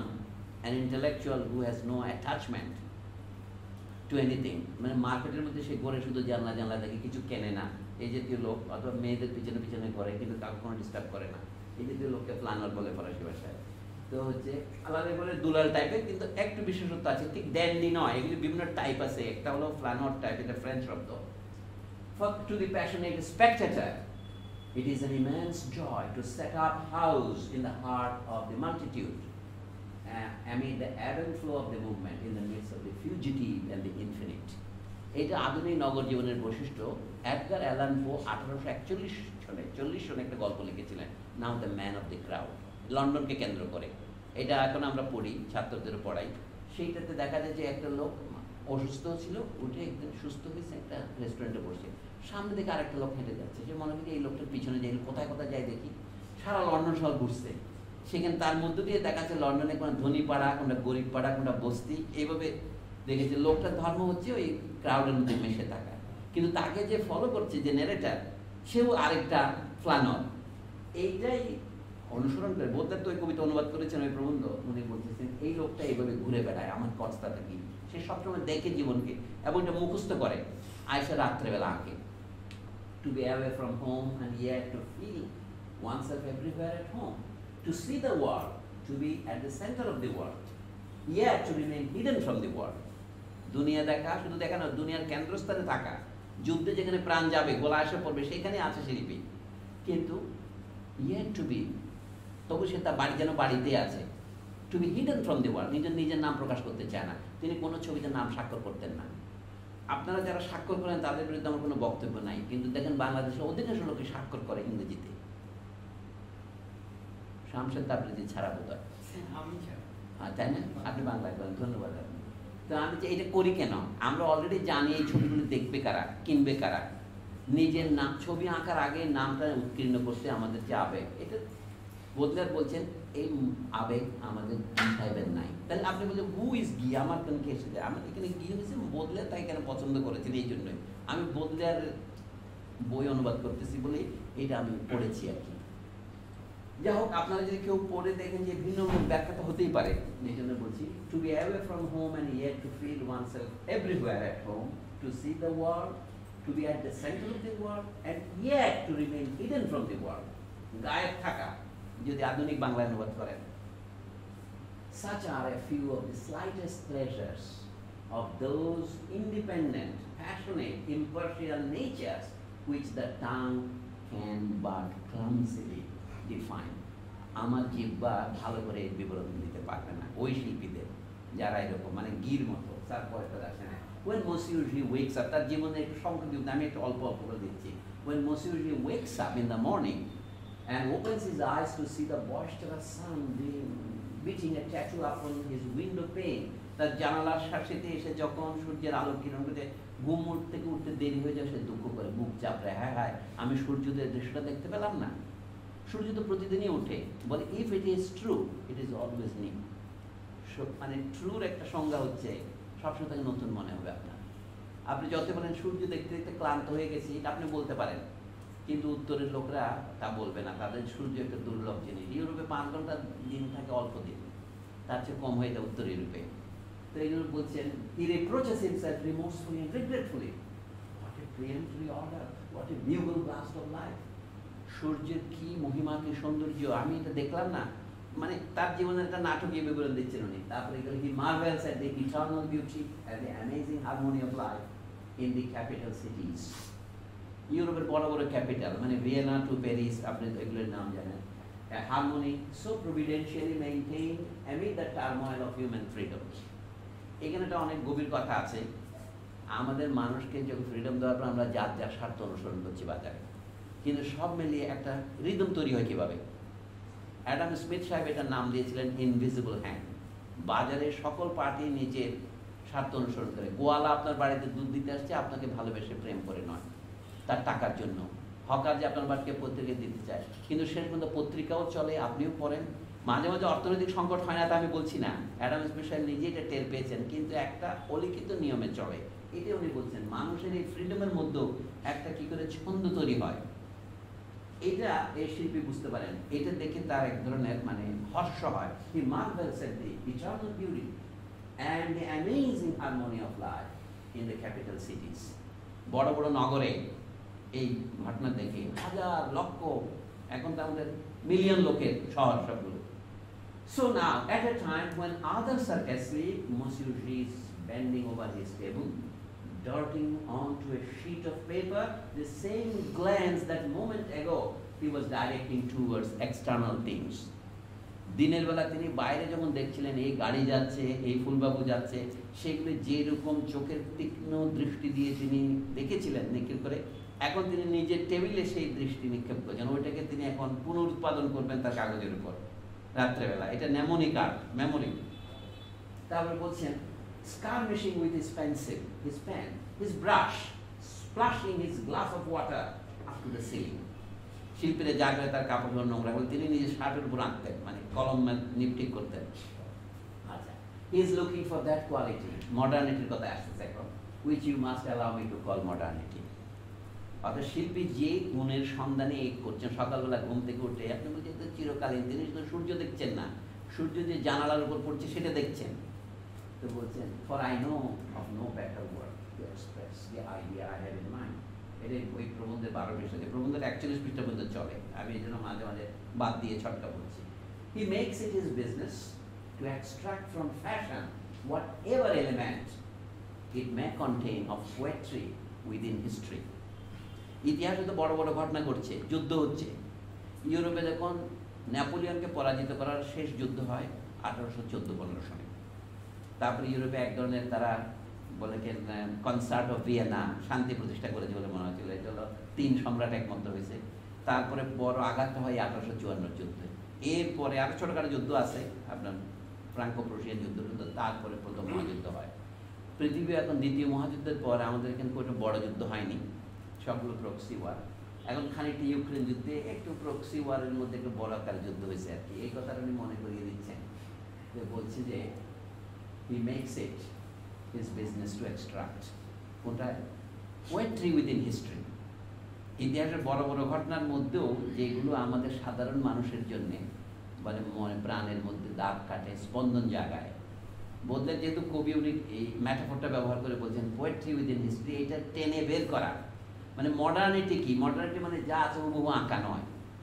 এখানে আপনার কল্পনা ব্যবহার করেন, আপনি বেছে নেন। এই বেছে নেওয়াটা এটাই হচ্ছে মডার্নিটি এলিমেন্ট যে শিল্পের মাথার ভিতর দিয়ে জারিত হচ্ছে পরে দেখবেন to distil the eternal from the transitory আমাদের ডিস্টিলের বাংলা তো সুন্দর চোলাই করা আর কি এক চুয়ানি দু চুয়ানি করে না চুয়ানি করে আপনি আসল স্বাদটা বের করবেন casting an eye over our exhibitions of modern pictures, we are struck by a general tendency among artists to dress all their subjects in the garments of the past. অনেক ইয়েতে আমাদের অভিনয় বলতে আগে আমরা মনে করতাম নবাব সিরাজদৌল্লার অভিনয়। একসময় মানে যাত্রাপালার অভিনয়। তো সেরকম ছবির মধ্যে অনেক দেখা যায়। কিছু কেউ আসলো না আপনি রোমান যুগের যদি কোনো যেমন সেজারকে ছুরি মারতে যাচ্ছে, সেখানে তো তোকে রোমান ড্রেসে রাখবেন। কিন্তু আধুনিক নায়কদেরও যদি আপনি রোমান পোশাক পরান, তাহলে এটা একটা কাল অনুচিত দোষ হয়। ইংরেজিতে বলে অ্যানাক্রনিজম সেই কথাটা উনি একটু ঘুরিয়ে বলছেন। অলমোস্ট অল অফ দ্যাম মানে অন্যান্য আর্টিস্টরা কি করে? Make use of the costumes and furnishing of the renaissance just as David employed the costumes and furnishing of Rome এইসব কথা কার্ল মার্ক সাহেব বলেছেন বাই দ্য ওয়ে ইউরোপে তখন তারা বিপ্লব দেখতো অতীতের টার্মে এই কারণে ফরাসি বিপ্লবীরা তাদের পদের নাম রেখেছে কনসাল, ট্রিবিউন, এইসব সব রোম থেকে ধার করা। মানে অর্থাৎ ঊনবিংশ শতাব্দীর বিপ্লব সম্পর্কে উনি বলছেন ঊনবিংশ শতাব্দীর বিপ্লব তার প্রেরণা নিত অতীত থেকে। কিন্তু পরবর্তী বিপ্লব অষ্টাদশ শতাব্দীর বিপ্লব নিত, পুরনো কাল থেকে। কিন্তু ঊনবিংশ শতাব্দীর বিপ্লব, মার্কস লিখছেন আঠারোশো আটচল্লিশের দিকে। ভবিষ্যতের কাছ থেকে তাকে প্রেরণা নিতে হবে। তো বোদলের মধ্যে তার একটা অনুরণন আমি দেখতে পাই স্যার পরেরটা দেখতে যাই। There is however this difference David সাহেবের একটা যুক্তি আছে বোদলের মতে, that by choosing the subjects which were specifically Greek or Roman, had no alternative but to dress them in antique আমি কিছুক্ষণ আগে যেটা বলেছি পুরনো যুগের ছবি আঁকতে হতে সেই পোশাক দিতে হবে কালের সাথে মেলাবার জন্য। কিন্তু যেটাকে আমরা পিরিয়ড পিস বলতে পারি।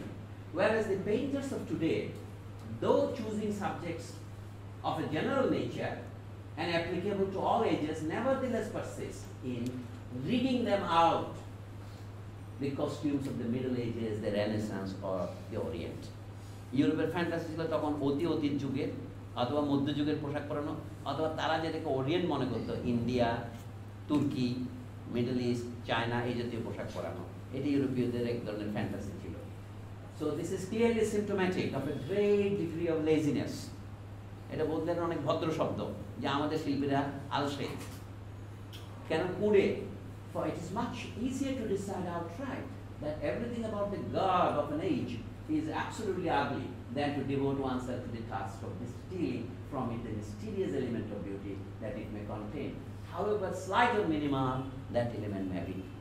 বলেন, যা কিছু আছে তার থেকে নিংড়ে আধুনিকতার বা স্থায়ী উপাদানটা বের করা, এটা কঠিন কাজ। এটা না করে যদি আপনি হুবহু যেমন আছে তেমন পেইন্ট করেন, তাহলে আপনি একটা আলস্যের পরিচয় দিলেন।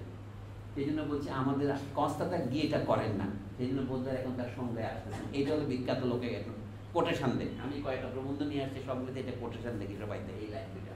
মাঝখানের তিনটা line by modernity I mean the ephemeral যেটা অস্থায়ী ক্ষণিক চমক দি ফিউজিটিভ ফেরারি দি কন্টিনজেন্ট আপত্তি, the half of art whose other half is the eternal and the immutable.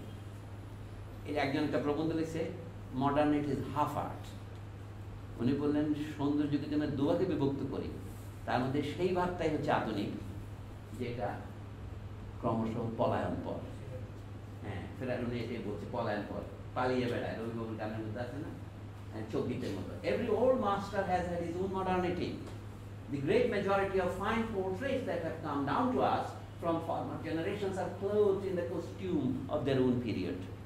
আমি একবার শুরুতে এই কথাটা শুরু করতে চেয়েছিলাম। প্রত্যেক যুগের পোশাকেই তারা তাদেরকে আবৃত্তি করে। সেই যুগে সেটা আধুনিক ছিল বলে এখন এটা অ্যান্টিক হয়েছে। এবং বদলার বলছে তোমার কবিতা আধুনিক, বলে অ্যান্টিক হওয়ার ক্ষমতা আছে তো? আজ থেকে দুশো বছর পরে যখন লোকে পড়বে, তখন সেটি কেমনভাবে নেবে? আপনি জানেন আমাদের অজস্র উপন্যাসিক ছিল।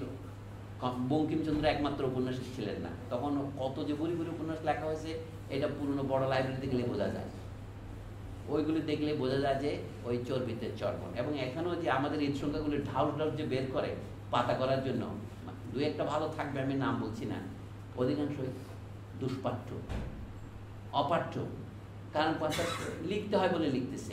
এইটা হচ্ছে কেন? বাংলাদেশ স্বাধীনই অনেক উন্নতি হয়েছে আমাদের। পদ্মা সেতু নিয়ে একটা বই বেরোচ্ছে আজকে দেখতে পেলাম। এইসব বিষয়ে কোনো কিছু আমি বলব না, কারণ এটা রেকর্ড হচ্ছে। কিন্তু আমি যেটা বলব সেটা হচ্ছে আমাদের সাহিত্যের কি হয়েছে? আমি অন্য কিছু কারবার করি না, সাহিত্যের কারবার করি। চিত্রকলার সম্পর্কে বলার আমার অধিকার নাই। আমি দেখছি এটা ভয়াবহ।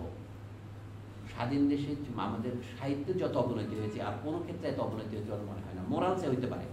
আমি সেটা তার বদলের সাথে আমি মিল পাই বাই নেগলেক্ট ইটস আরেকটা বাই বলছি কি they are perfectly harmonious because everything from costume and coiffure down to gesture glance and smile everything I say combines to form a completely viable whole. This transitory fugitive element whose metamorphoses are so rapid must on no account be despised or dispensed with. এতক্ষণ আগে যখন উনি বললেন এটা ফেরারি চলে যাচ্ছে, তাই বলে এটাকে আমরা অবজ্ঞা করব বা হাসাহাসি করব তা নয়। আমার আসলাইড কয়েকটা আছে, তারপরে ছবিগুলো দেখাচ্ছি আমি।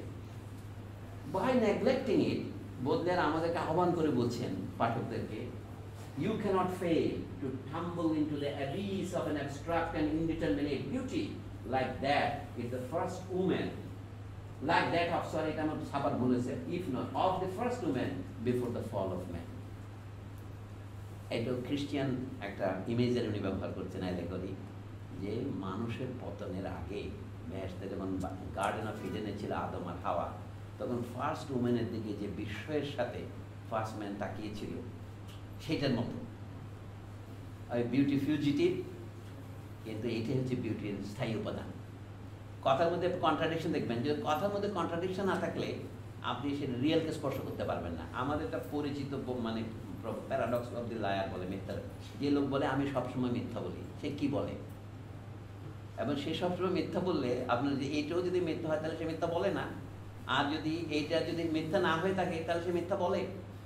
আপনি কখনো সঠিক সিদ্ধান্ত নিতে পারবেন না। এইটাকে বলে, এটাতে আমি ব্যাখ্যা দিয়েছি, এটা হচ্ছে প্যারাডক্স অফ দ্য রিয়াল রিয়ালের মধ্যে কোনো শূন্যতা নাই, কিন্তু অন্যের মধ্যে শূন্যতা আছে। যেমন সিম্বলের মধ্যে শূন্যতা আছে কোথায়? আপনি শূন্য দিয়ে ভাগ করতে পারেন না। আমরা সবাই এইটুকু গণিত জানি, পাটিগণিত। এটা পারি না কেন? কারণ এটা হলো সিম্বলিক সিস্টেম নাম্বারের লিমিটেশন আছে। শূন্য দিয়ে অনেক ফাংশন করা যাবে, তাকে ভাগ করা যাবে না। গুণ করলে যে তো বড়কে গুণ করেন না কেন শূন্য হয়ে যাবে। কিন্তু শূন্য দিয়ে ভাগ করা অনুমোদন করা যায় না, তার মানে কি? এটা সোজাচ্ছে কি, এই সিস্টেমটা রিয়েল সিস্টেম নয়। রিয়েল সিস্টেম অন্য জিনিস। আমি রিয়েলের কথা বলছি এখানে এই জিনিসটা এসেছে। If for the necessary and inevitable costume of the age you substitute another you will be guilty of mistranslation. only to be excused in the case of a masquerade prescribed by fashion. জন্য অনেক কথা বলা যায় অনুকরণ করে বলা যায় ব্যঙ্গ করার জন্য মুখোশ পরার জন্য কিন্তু আদারওয়াইজ এটা অ্যালাউ করা যাবে না বলছেন thus the goddesses nymphs and sultans and, and sultans of the 18th century are still convincing portraits morally speaking মানে এগুলি আমি করতে পারি অষ্টাদশ শতাব্দীর সুলতানদের, উনি ঊনবিংশ শতাব্দীতে বলতেছেন, এটা আমরা করি ঐতিহাসিক পারপাসে আদারওয়াইজ নয়, তারা একটু পরে না আচ্ছা একটু পানি খেতে পারি নাকি? ম্যাডাম। শুকাচ্ছে, দেখতে পাচ্ছি।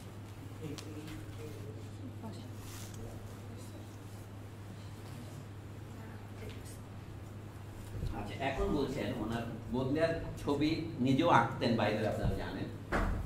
মানে বৌদ্ধের যদি এমনি শিল্পী হতেন, খারাপ হতেন না। তার বাবাও শিল্পী ছিলেন তার বয়স ছয় হওয়ার আগে বাবা মারা গেছে তখন তার লুক থেকে শুরু করে সব মিউজিয়ামে উনি ছবি দেখেছেন ফলে তার একটা মতবাদ গড়ে উঠেছিল অল্প বয়সে It is doubtless an excellent thing to study the old masters in order to learn how to paint. No doubt. But it can be no more than a waste of labor. শ্রমের অপচয় ছাড়া কিছু হতে পারে না if your aim is to understand the special nature of present day beauty. আমাদের এখানে মনে করেন কেউ যদি রবীন্দ্রনাথের কবিতা খুব ভালো কিন্তু রবীন্দ্রনাথের মতো কবিতা আপনি এখন লেখেন আমরা হাসবো। ওই মম এইভাবে কবিতা আজকে আর লোকে লেখে না। তাহলে কি এই পরিবর্তনটা কে নির্ধারণ করল? আচ্ছা In short, for any modernity to be worthy of one day taking its place as quote unquote antiquity, যে কোনো মডার্নিটিকে তার যথাসময়ে তাকে প্রাচীন হয়ে উঠতে হবে। আমাদের অনেক মডার্ন ছেলে মনে করে কি সে আর কোনোদিন বুড়া হবে না। আমি উদাহরণস্বরূপ বলি, আগের জন্য বড় বড় কবিরা নতুন কবিদের বইয়ের ভূমিকা লিখে দিত। কবি শামসুর রহমান হাসাহাসি করতেন। যে রবীন্দ্রনাথ যে কবিদের ভূমিকা লিখে দিত, হাসাহাসি করতেন। আহমদ সাহেব আমাকে বলেছিলেন বলে যে এই শামসুর রহমান বুড়া বয়সে চামচিকাদের ভূমিকা লিখে দেবে এবং তা উনি লিখে দিয়েছেন। অনেক অজস্রই এইটাই বলতেছে এই জিনিস। এক কালে যাকে ব্যঙ্গ করেছেন, বলে আপনাকে তার জুতায় পা দিতে হয়। আপনি এখন পুরোহিত হয়ে উঠেছেন। মানে ওনাকে যখন সাংস্কৃতিক জোট করতে হয়েছে, কবিতা পরিশোধ করতে হয়েছে, সেখানে সুকর্ম অনেক করার পরেও অনেক কর্ম করতেছে, যাকে সুকর্ম বলা যাবে না, অপকর্ম বললে বেশি হবে না। সেটা হচ্ছে কি অকবিকে কবি বলে ঘোষণা করা। এবং সেইটার ঋণ আমরা এখনও শোধ করতে পারিনি। তারা এখন আমাদের মাথার উপর ছড়ি ঘোরাচ্ছে। আমি নাম বলব না, কারণ আমার তো ঘাড়ে মাথার দুটো নাই। তো, it is necessary for the mysterious beauty which human life accidentally puts into it to be distilled from it. And it is this task that Monsieur G particularly addresses himself. ওনাকে পেইন্টার অফ মডার্ন লাইফ কেন বলেছেন অনেকে বলেছে এটা লোপায় দুলাভি মোদান অন্যান্যদের মধ্যে বিখ্যাত দার্শনিক মিশেল ফুকো এর উপরে প্রবন্ধ লিখেছেন যে এইখানে গুরুত্বপূর্ণ কথা হচ্ছে মডার্ন লাইফ পেইন্টিং নয় এবং উনি সেই বোদলেয়ারকে অনেক প্রশংসা করে বলেছেন যে, এইটা বোদলেয়ারের এই প্রবন্ধ পড়ে আমি বুঝতে পেরেছি আমার হোয়াট ইজ এনলাইটেনমেন্ট মানে মিশেল ফুকুর প্রবন্ধটা বেরিয়েছে উনিশশো চুরাশিতে, তার ঠিক দুশো বছর আগে। বার্লিনে ইমানুয়াল কান্ট একটা প্রবন্ধ লিখেছিলেন হোয়াট ইজ এনলাইটেনমেন্ট এনলাইটেনমেন্ট মানে হচ্ছে মানুষের প্রাপ্তবয়স্ক হয়ে ওঠা, কারোর উপর নির্ভর না করে। মানে সোজা কথা, ধর্মের উপর নির্ভর না করে নিজের সিদ্ধান্ত নিতে পারা। এইটা বলে আমি বহুদিন বুঝতে পারিনি। মিশুল ফুকু বলছেন এটা মিশুল ফুকুরের জীবনের শেষ প্রবন্ধগুলির একটি, সেই বছর উনি মারা যান, যে বদলের এই প্রবন্ধের কাছে আমি দিইনি আমি অনেকটা এর দ্বারা প্রভাবিত হতে পারি, যে আমি বললাম খালি প্রবন্ধটা পড়ে দেখি। এখন বলছেন, মানুষ একটা যুগের যে চেহারা, তিনটা শব্দ বলতে ব্যবহার করেছেন গেট গ্ল্যান্স অ্যান্ড জেস্টার আপনি কীভাবে দাঁড়ান আপনি কীভাবে বসেন, বোঝা যায় আপনি উঁচু হয়ে বসেন না সোজা হয়ে বসেন। আমি ব্যক্তির কথা বলা হচ্ছে একটা যুগের যে পোস্টার থাকে আর কি গ্ল্যান্স সে কীভাবে তাকায়, কীভাবে দৃকপাত করে, আমাদের একটা প্রতিষ্ঠানের নাম দেখছে না? এটার নাম কলা কেন্দ্র। হ্যাঁ একটা ভারতীয় ক দিয়ে শুরু করেছিলাম আমি প্রথমে হাই এখানে একটা হিন্দি ক কেন? এইটাও কিন্তু আপনার কালচার তো ওয়াই আমি হিন্দি ক পছন্দ করছি বাংলা চাইতে? এটা হয়তো যিনি করছেন, তিনি তো ভেবে চিন্তে করেননি। কিন্তু যেটা আমি ভেবে চিন্তে না করি, সেটাই আমার মনের মানে সত্যটাকে প্রকাশ করে। এবং এটা ফ্রয়েডের বহু আগে, আপনারা দেখবেন আনকনসিয়াস কথাটা কিন্তু বোধহয় সুন্দরভাবে প্রকাশ করেছে। অ্যান্ড জেস্টার আপনি জানেন, আপনার, আমরা বলে হাব এবং ভাব। মানে ইংরেজিতে হ্যাভ অ্যান্ড বি বলে, এটা হলো হাব ভাব বাংলায় within that unity which we call a nation, the various professions and classes and passing centuries all introduced variety. যে সমগ্রকে, যে ঐক্যকে আমরা জাতি বলি, সেটা যাই হোক, তার সীমানা যাই হোক, আমরা কি বাঙালি যেতে একটা জাতি না? শুধু বাংলাদেশের এই পঞ্চান্ন হাজার বর্তমানের মধ্যে একটা জাতি? সেই তর্ক মীমাংসা করছি না। কিন্তু আমাদের এখানে কিছু অশ্লীল দার্শনিক বেরিয়েছে, যারা ন্যাশনালিজমের অনুবাদ করে জাতিবাদ। এটা হচ্ছে তাদের বিদ্বেষপূর্ণ অনুচরণ। তারা ভাবতে গেলে তারা যেন জাতির সংজ্ঞার বাইরে চলে গেছেন তারা তারা মনে করেন। কিন্তু বদলের সাহেব খুব একটা জাতীয়তাবাদী নন। উনি বলছেন within that unity which we call a nation nation কথাটা যুক্ত হচ্ছে জন্মের সাথে। এবং জাতও কিন্তু জন্মের সাথে যুক্ত। এই জন্য জাতীয়তাবাদ লিখতাম আমরা আগে অল্প বয়সে, এখন দেখি তারা জাতিবাদ লিখতেছে। এটা লিখতেছে তারা ঘৃণা ব্যঞ্জক হবে কিন্তু তাদের যদি বিকল্পটা বলা হয়, আপনার বসবাসের ভিত্তিতে কি হবে? জাতিবাদ জিনিসটা ভালো নয়। এটা দেখা রবীন্দ্রনাথের উদাহরণ দিয়ে বলেন। আমি এখানে বলছি বদলের বলছেন যাকে আমরা যে ঐক্যকে আমরা জাতি বলি তার মধ্যে একটা চেহারার মিল হয়। আমরা টেকনাফ থেকে তেঁতুলিয়া বলি। এটা আমাদের সাতচল্লিশ সনের পরের একটা কৃত্রিম জাতি। মানে এটা হচ্ছে রাষ্ট্র সৃষ্ট হওয়ার পরের জাতিকে আমরা পুনর্গঠন করছি। আমাদের বাংলাদেশে এখন মুক্তিযুদ্ধ নিয়ে হইচই খুব বেশি চলছে, কিন্তু মুক্তিযুদ্ধের চেতনার বারোটা এখন বেজে গেছে। কিন্তু যেটুকু আছে সেটা কি? এই তো সাতচল্লিশ সনের চেতনা। বাংলাদেশ সীমান্ত বর্ডার আপনার ওই যে ল্যান্ড বাউন্ডারি বাদ দিলে, সব তো সাতচল্লিশ সনের বাউন্ডারি এটা তো বদলার নেই। আগে নাম দিয়েছিলেন পূর্ব বাংলা, পূর্ব পাকিস্তান এবং বাংলাদেশ হয়েছে। এইটা বলে তো লোকে এই যে মানে আক্রমণ করে। যদি কথায় কথায় আপনি আক্রমণ করেন, কোনো আলোচনা না করেন, আপনি কোথাও যেতে পারবেন না। এখন তো আমরা সেই রসাতলে যাচ্ছি। এই জায়গায় আমি আপনাদের বলব, দেখুন not only in manners and gesture but even in the actual form of the face আপনার চেহারা বন্ধ বলতে যাবে। যুগে, যেমন certain types of nose mouth and brow will be found to dominate the scene for a period, whose extent I have no intention of attempting to determine here. বোধহয় একটা পশ্চাদা পোষণ করছে। আমি যেভাবে পশ্চাদা পোষণ করার চেষ্টা করছি বলেও আমি বলব না। আই রাইট আন্ডার ইরেজার লিখে কাইটা দিলাম। But which will be subjected to a form of calculation আপনি হিসাব করতে পারেন যে বাংলাদেশের তর্ক চলে আর কি এই জাতিতে কি? সবচেয়ে মজার ব্যাপার কি জানেন? স্যার যদুনাথ সরকার একটা বই লিখেছিলেন। History of Bengal Muslim period উনিশশো আটচল্লিশ সনে বইটা বেরিয়েছিল খুব আইরনিকলি ঢাকা বিশ্ববিদ্যালয় থেকে। লিখেছিলেন মানে সম্পাদনা করেছিলেন, তার অধিকাংশ তার লেখা, অন্য লেখকরাও আছেন। সেখানে উনি বললেন যে, শেষ পর্যন্ত ব্রিটিশ আমলের দুশো বছরে বাঙালির একটা জাতি হয়ে উঠল।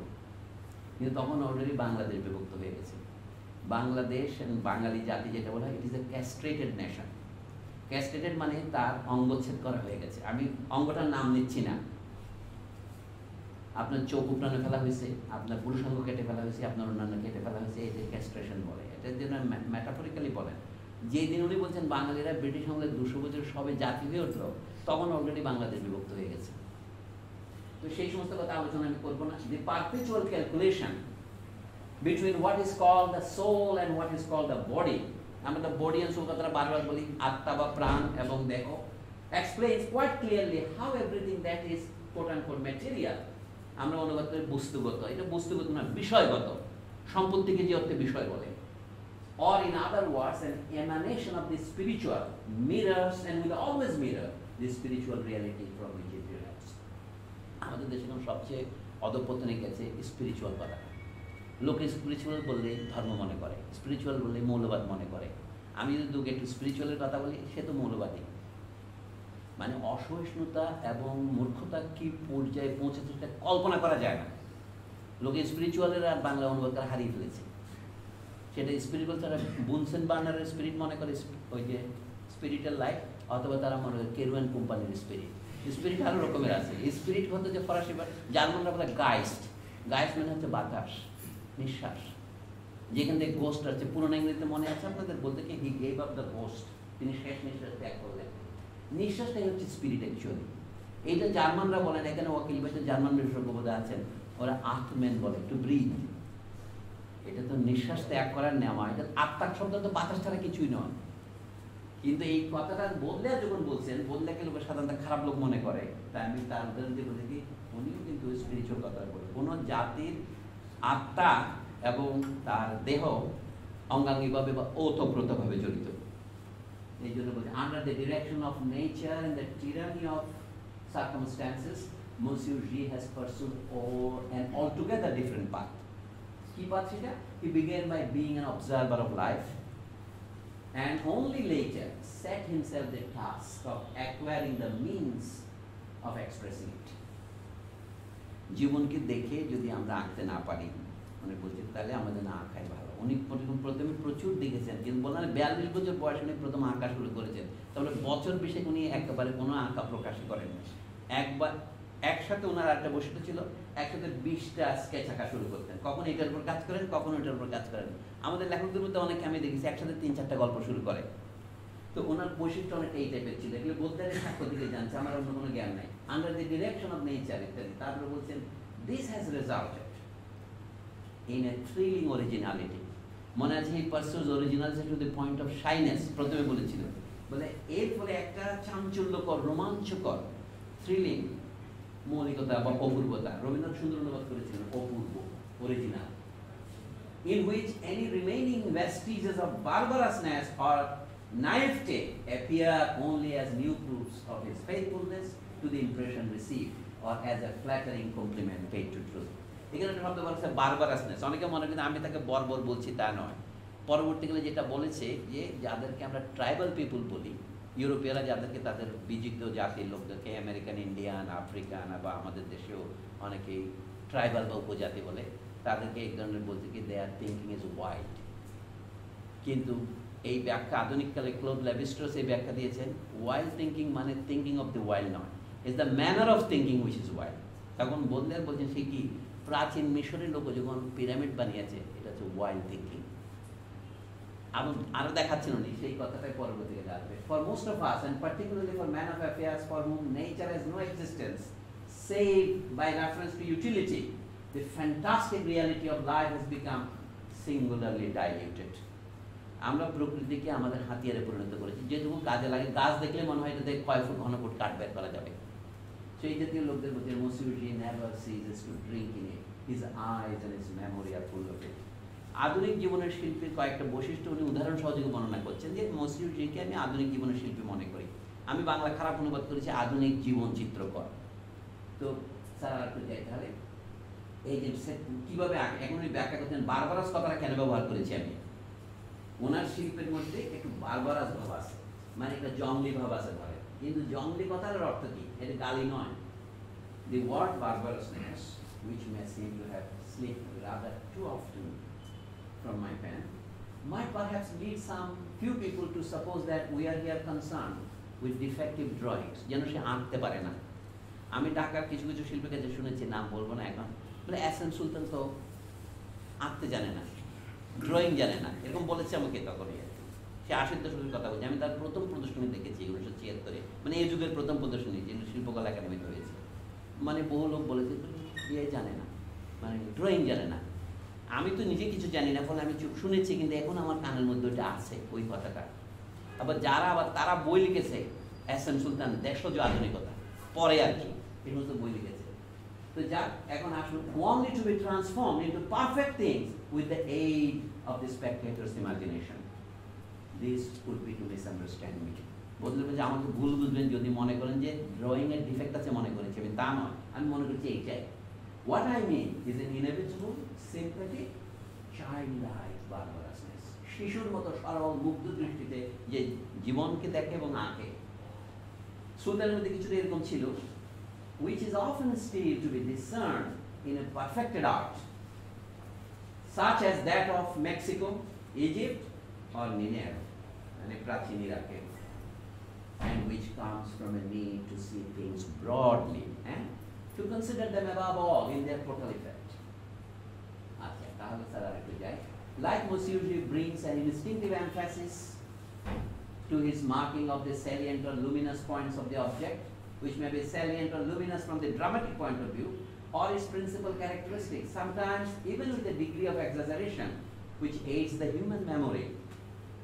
আমরা শিল্পীর এই হলো চয়েসটা আমি এই যে আপনারা লক্ষ্য করেছেন এস এম সুলতান অনেক বেশি ফোলা মানুষ তৈরি করছে বিরাট বাহু বানাচ্ছে অনেক বড় নিতম্ব তৈরি করতেছে বড় বড় চারা রোপণ করছে ইত্যাদি উনি বলছেন এটা মানুষের মেমোরিকে হেল্প করার জন্য আপনি এক্সাজারেট করতে পারেন কিন্তু ওইটাই আসল কথা নয় thus under the spark of so forceful a prompting the spectator's imagination receives a clear cut image of the impression produced by the external world upon the mind of Monsieur or the artist.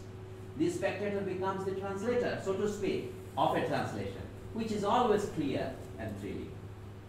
অর্থাৎ আপনি এটা দেখলেন, আপনি এটা মাথার মধ্যে impression নিলেন, তারপরে আপনার ছবির উপর আপনি এটা আঁকলেন। এটা কিন্তু একটা ট্রান্সফরমেশন হয়ে গেল। ওইটাকে আবার শিল্পী মানুষ যারা দেখে, তারা আরেকটা ট্রান্সফরমেশন করে নেবে। এটা হচ্ছে ওনার মতে বৈশিষ্ট্য। এখন এই ভদ্রলোক মসিউজি আঁকতে পারে কেমন? বদলে বলতে সাংঘাতিক আঁকতে পারে ড্রাফটসম্যানশিপ from memory and not from the model. Except in those cases, the Crimean War is one of them, when it may be urgently necessary to take immediate, hasty notes and to fix the principal lines of the subject. তিনি দ্রুত ওখানে note দিন কেন আসলে বাড়িতে এসে পরে আঁকতেন। অনেক সময় ফিল্ডেও তিনি কিছু নোট নিয়েছেন দেখা যাবে দাঁড়িয়ে আছে। টু দি অবজেকশন দ্যাট একটা ছবিতে তিনি নিজে নিজেকে এঁকেছেন আপনারা দেখবেন বলতে মাই হাম্বল সেলফ দুটো চার্চের দুই ভগিনী দাঁড়িয়েছে তাদের সাথে আরেকজন তার মতো একটা লোক আলাপ করতেছে। নিচে ছোট করে লিখছে মাই হাম্বল সেলফ আর দ্যাটস টেকেন অন স্পট এগুলি কোনো দেখ পড়া যায়। To the objection that there are admirable sketches of the later type by Raphael, Watteau, and many others, I would reply that these are notes. মানে তারাও model নিয়ে এঁকেছেন। উনি বলতেন মডেল নিয়ে আঁকলেও সেগুলি এক ধরনের নোট অর্থাৎ মডেল নিয়ে তারা নোট নেন। কিন্তু রিয়েল যখন ফিনিশ করেন ছবি তখন তাদের আপন মনের মাধুরী সেখানে মেশে। সেটা বলছেন very scrupulous notes to be sure but mere notes nonetheless Thus, the two elements are to be discerned in Mosilji's execution. The first, an intense effort of memory that evokes and calls back to life, a memory that says to everything, arise, Lazarus.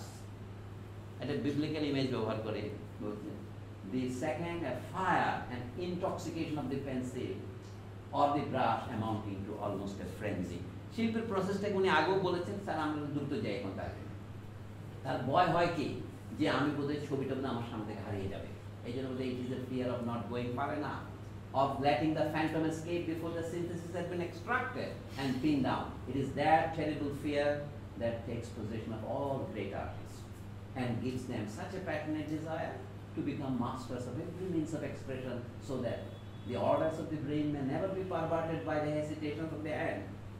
মাথার যে চাঞ্চল্য সেটা যেন হাত মানে পিছনে না পড়ে। And that finally execution, ideal execution may become as unconscious and spontaneous as is digestion of a healthy man after কিনে আসে। খাওয়ার পরে মানুষের হজম যেরকম স্বাভাবিক আনকনসিয়াস শব্দের ব্যবহারটা লক্ষ্য করেন। ফ্রয়েডের বহু আগে দিনে আনকনসিয়াস কথার ব্যবহার ফ্রয়েডের বয়স তখন সাত বছর যখন এটা লেখা হয়। ইট ইজ এই যে নিচে আছে আর কি ও আমরা কি আছি স্যার এখানে এটা থেকে পরেটা চলে যাওয়া দেখা দরকার নেই He attaches an enormous importance to his backgrounds, which whether slight or vigorous, are always appropriate in nature and quality to the figures. Tonal scale and general harmony are all strictly observed. With a genius which springs from instinct rather than from study. For Monsieur G possesses by nature the colorist mysterious talent. আপনি কোন রং লাগাবেন এটা তো ব্যাকরণ দিয়ে বোঝা যাবে না আপনার মানে নিজেই ঠিক করবেন এটা মিস্টিরিয়াস ট্যালেন্ট ফর কালারিং উনি বলছেন the nature uh, by nature the color is mysterious event a true gift that may be developed by study but which study by itself is I think incapable of creating. Sir আপনি জানেন so এখন আমি তার থিওরিটা শেষ করলাম এখন বিভিন্ন ছবিগুলো দ্রুত আমরা দেখতে পারি। একটা হলো যুদ্ধের চিত্র কি কি এঁকেছে আনালস অফ ওয়ার এটা সব সপ্তাহে I have studied his archives of the Eastern War battlefields littered with the debris of death baggage trains, shipments of cattle and horses. They are tableau vivant of an মানে living pictures, French শব্দের অর্থ tableau pictures vivant of an astonishing vitality traced from life itself, uniquely picturesque fragments which many a renowned painter would in the same circumstances have stupidly overlooked. অর্থাৎ তখন যুদ্ধে যে সমস্ত ক্ষুদ্র ক্ষুদ্র জিনিস তার চোখে পড়েছে উনি সেগুলোতে ব্যাগেজ ট্রেন সহ এটা লিখতেন the great epic poem of Crimea এইসব এটা বোদ্ধারের কথা আমি উপরে নিলাম the eye wanders from the banks of the Danube to the shores of the Bosphorus from cape Kherson to the plains of Balaclava from the plains of Inkerman to the encampments of the English, French, Turks and Piedmontese Italians from the streets of Constantinople to hospital wards and all this splendor of religious and military ceremonial.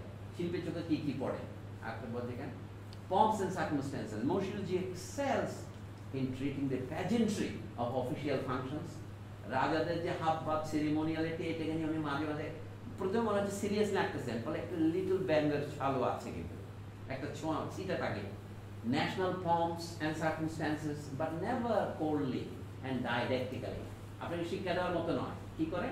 like those painters who see in the work of this kind no more than a piece of lucrative drudgery. Local মানে হচ্ছে চাকরি আকর্ষণ পয়সা করে। তো অনেকে মনে করে যে আমাকে রাজনৈতিক চাকরি দেওয়া হয়েছে, আমি ভালো করে আঁকবো যেমন রাজার প্রশংসা করতে হয়, তাই করা। এইভাবে ইনি করেন না he works with all the order of a man in love with space with perspective with light lying in pools আলোক সম্পাত হয়েছে পুকুরে পানির উপরে in or exploding in vast drops or diamonds of it sticking to the rough surfaces of uniforms and court toilets এখানে court প্রসাধন হতে toilet ব্যবহার করেছে তার মধ্যে কি কি সৌন্দর্যের প্রতিফলন হয়েছে যেন লেখা মিলিটারি লোকের সৌন্দর্য সম্পর্কে বোধের দৃষ্টিভঙ্গিটা লক্ষ্য করে আমি খুব অল্প করে লিখছি taken as a class. The military man has his beauty.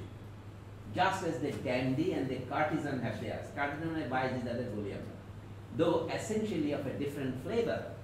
আর কি আছে অ্যাকাস্টম টু সারপ্রাইজেস কারণ মিলিটারি লোকরা যে কোনো সময় আক্রান্ত হতে পারে আপনার যখন সেন্টিটিউডে থাকলে রাত্রেবেলা বোঝা যায় যে কোনো সময় কে যায় বলার আগেই আপনার জীবন শেষ হতে পারে।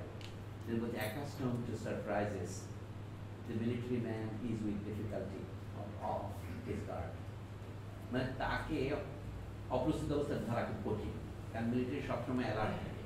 বলছে, the characteristic of his beauty will thus be of a kind of martial non challenge challenge মানে হচ্ছে গরম হওয়া। নন চ্যালেঞ্জ মানে কুল থাকে।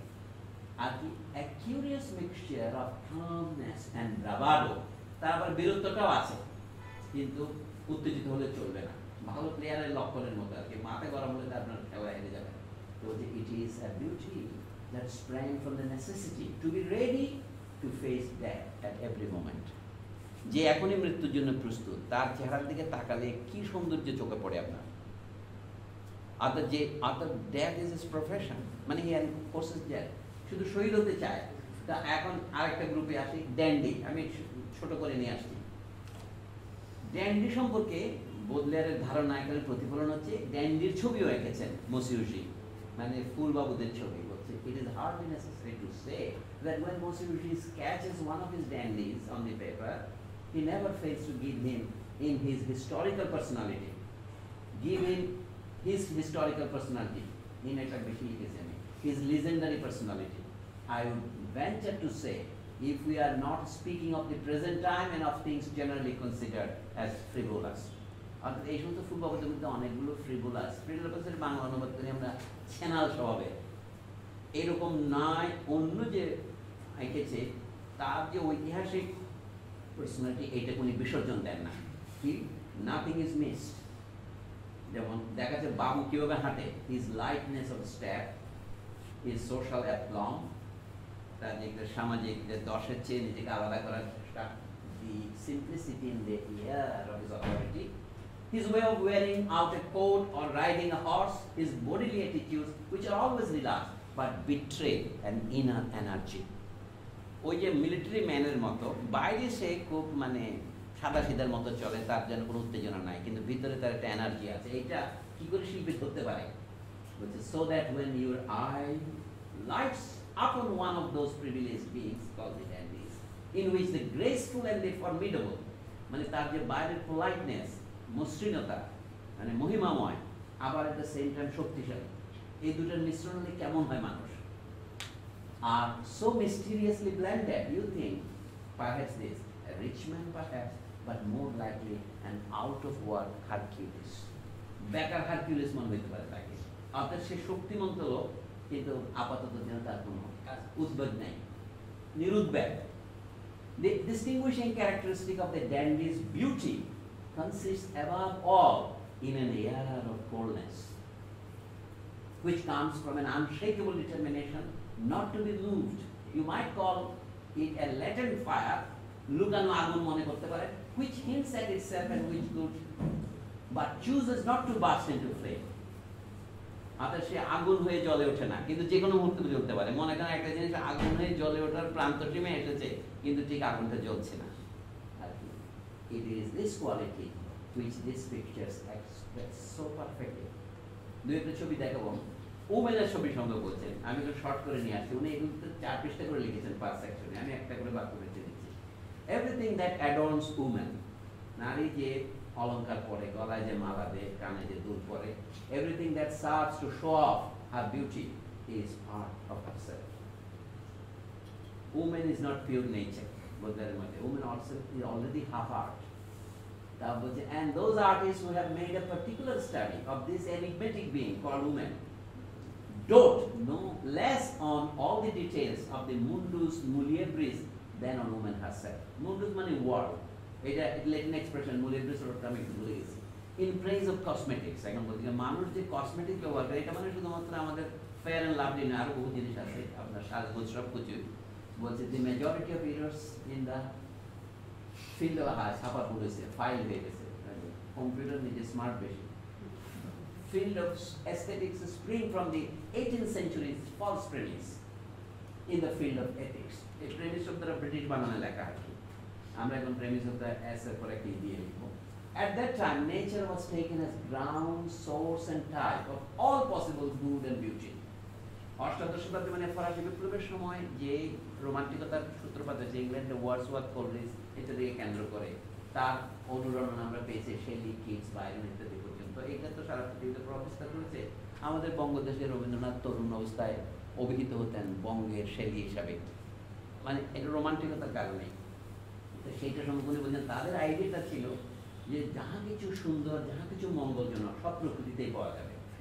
এই যে প্রকৃতির পূজা, বদলার বলছেন এটা পুরোপুরি ঠিক নয়। এই জন্য আমি পরে বলছেন, দেখুন, The negation of original sin played no small part in the general blindness of that period. মানুষের মধ্যে যে যেটাকে বলা হয়, ভালো শব্দের অবশ্যই বলছি মানুষ তো একটা পশুও বটে। তার মধ্যে বিশুদ্ধ পশুত্ব যেটা আছে, যেটার মধ্যে এথিক্স প্রবেশ করে নাই মোরালিটি প্রবেশ করে নাই, সেই অবস্থায় প্রাকৃতিক মানুষ যাকে বলা হয়, রুসু যেটাকে নাম দিয়েছে নোবল স্যাভেজ। বাট নোবল কথাটা বাদ দিলে ইজ স্যাভেজ। তো সেই জন্য বলছি যে নিকেশ না অরিজিনাল ছিল অর্থাৎ মানুষের মধ্যে অরিজিনাল সিন নাই। আপনি এটা রবীন্দ্রনাথের মধ্যে আপনি কম দেখতে পাবেন। আমাদের দেশে আমার রোমান্টিকদের নিকটতম তুলনা বাংলাদেশ হচ্ছে রবীন্দ্রনাথ। মানে আপনারা আমাকে রবীন্দ্র বিদ্বেষী মনে করতে পারেন, কিন্তু সত্যের খাতিরে আমি যেটুকু বুঝি না তা তো বলতে পারব না।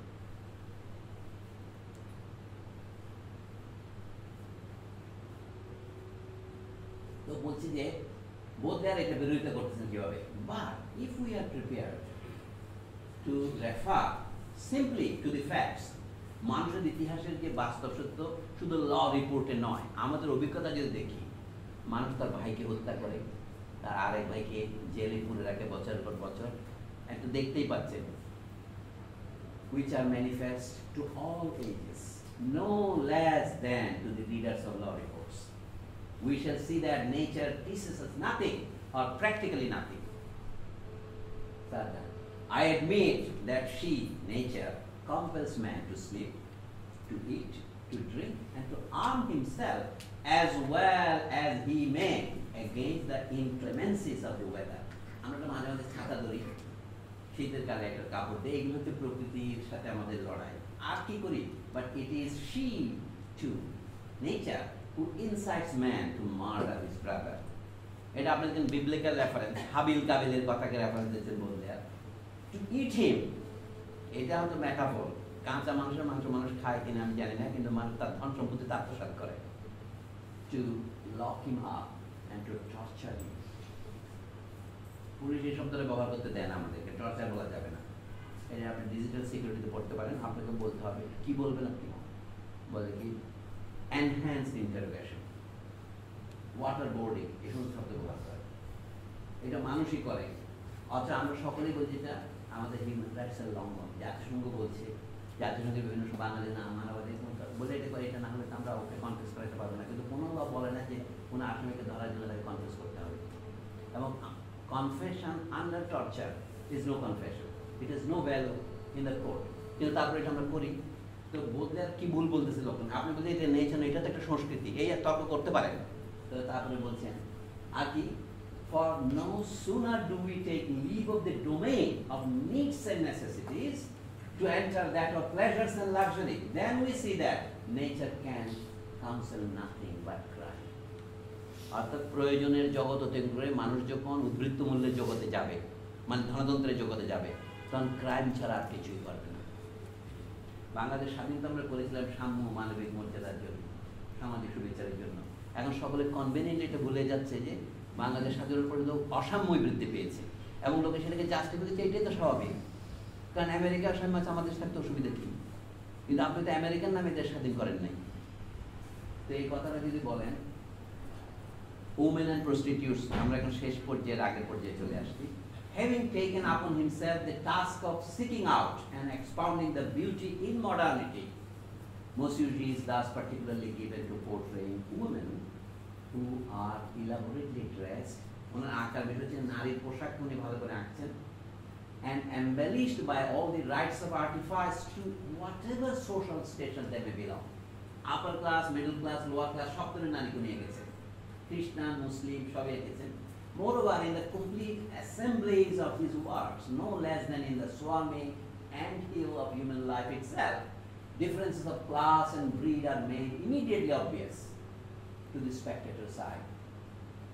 Uh, uh, whatever luxurious trappings the subjects may be decked. এখানে কি যেন ছাপার একটা বুলবুল আছে তারপরে লাস্ট হচ্ছে ক্যারেজেস গাড়ি ঘোড়া কিভাবে এঁকেছেন তিনি এখানে ঘোড়ার কথাটাই বলি the physical attitudes of the rich are familiar to him ধনীরা কীভাবে চলাফেরা করে, তাদের যে মনে আছে, তাদের gait gesture glance and gesture এগুলো আছে। With a light stroke of the pen and a sureness of touch, which never deserts it আমরা বলি অনুপ্রেরণা আমাকে কোন ছেড়ে চলে গেছে, আমার প্রেরণা দেবী আমার আর নাই। সাহিত্য, যদি প্রেরণাই হয়, তাহলে আগে আমি লিখতে পারব। বাংলাদেশে কোন মনে হচ্ছে যে সাহিত্যিকদের মধ্যে সব প্রেরণা চলে গেছে, সব ব্যবসায়ী হয়ে উঠেছে। সবাই পুরস্কার পেতে চায়। পাকিস্তান হলে যা হয়েছিল সেটা এখন উইথ এ ভেঞ্জিয়েন্স প্রতিশোধ সরকারে ফিরে আসছে। কোন ব্যাংককে আট লাখ পুরস্কার দেবে না, কেউ দশ টাকা পুরস্কার দেবে না, শিল্পীরা এখন পুরস্কার দিয়ে পায় না, তার আত্মহত্যা করা উচিত যেমন সভা এটা কিন্তু এই যে ধনতান্ত্রিক সমাজের রোগগুলো আমরা খুব ভালোভাবে পেয়েছি। আর ভারত উপন্যাস লিখেছে, আপনি অর্ডার দিয়ে লেখেন, কিন্তু এটা যদি দশ বছর পর আর পড়া না যায়, তাহলে কি হবে? সেই কথা থাক, আমি এখানে আসি। He is able to give us the assurance of glance, gesture, and pose, which is the result of a life of monotony in good fortune. বড় লোকরা এই যে লোকের জন্য ছেলেমেয়েরা কথা বলতে পারতেছে না এইখান থেকে যদি স্কুলে যেতে তার গাড়ি লাগে সে হাঁটা উলে গেছে এবং তার ইংরেজি তারা জবানের মধ্যে কোনো বল ফোটে না।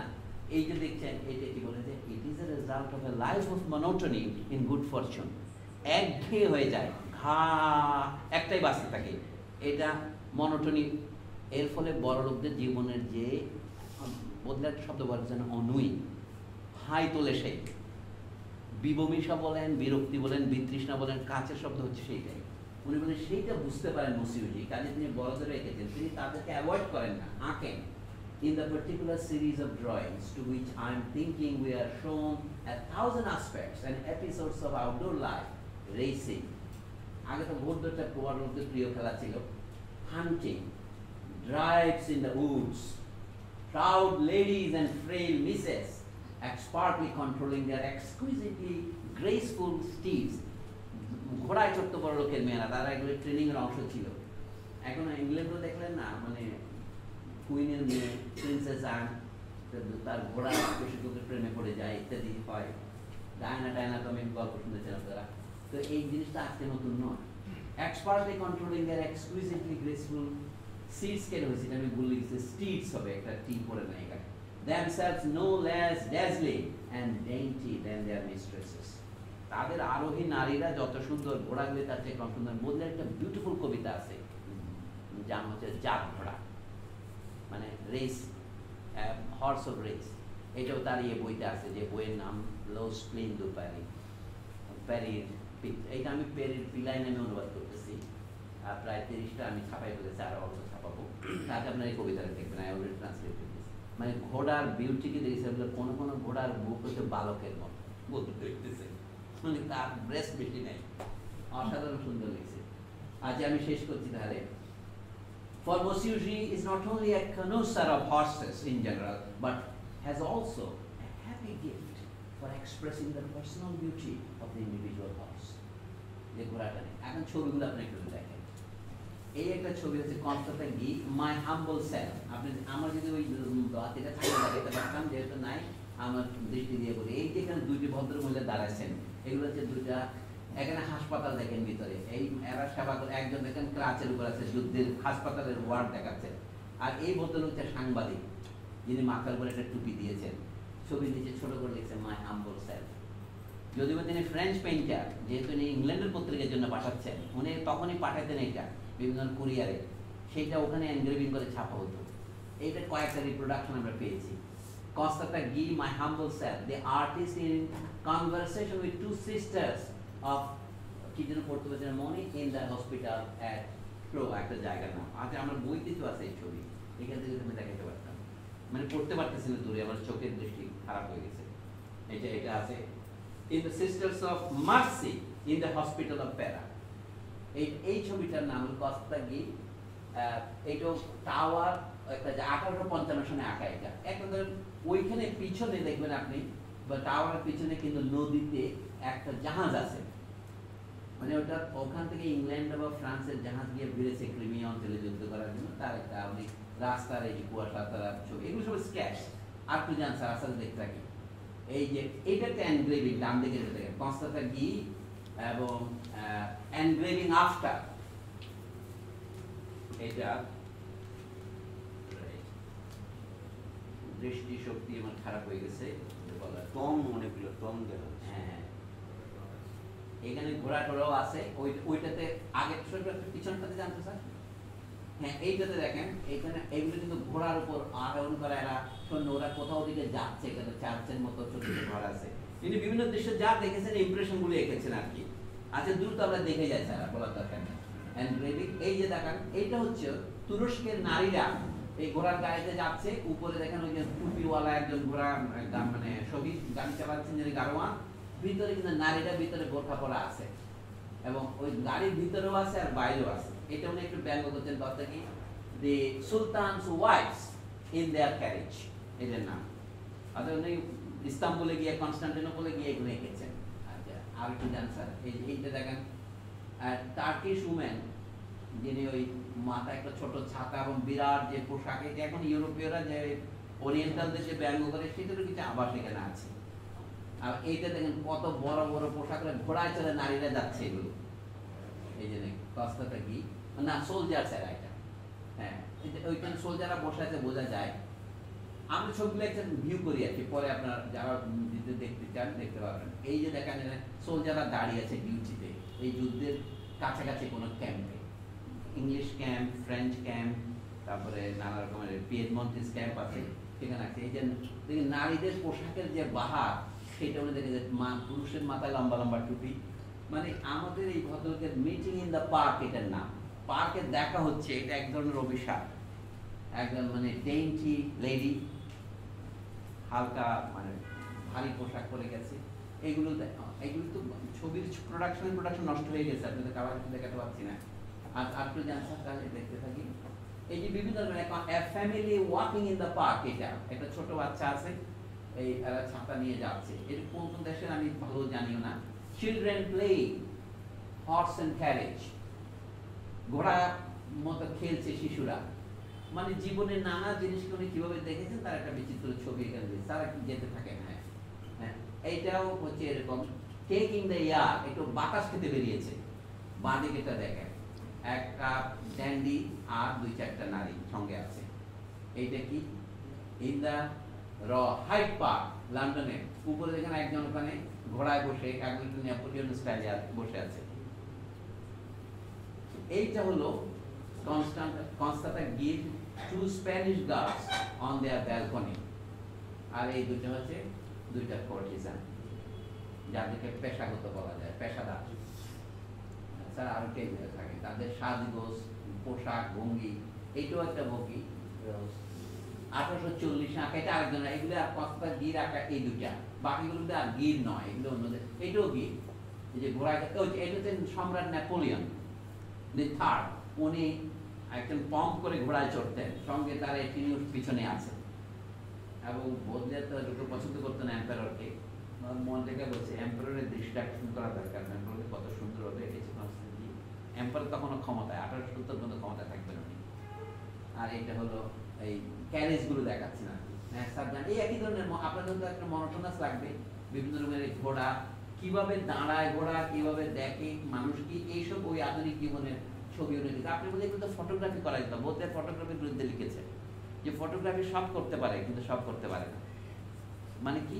সব করতে পারে কিন্তু সব করতে পারে না মানেটা কি? সেটা দেখবেন এই যেগুলো দেখাচ্ছে এটা তলাটা কিন্তু মুছে গেছে স্যার। বুঝতে পারছে না। আচ্ছা এই ছবিগুলো অন্যদের আর একটু পিছনটা দয়া করে একটু যান এইটা এটার লাইনটা আমি ভুলে গেছি একটু দেখি। না ক্যাপশনের মধ্যে কি লেখা আছে? হ্যাঁ, এখানে আছে আমার বইতে আশা করি। পুরোপুরি হারিয়ে যায়নি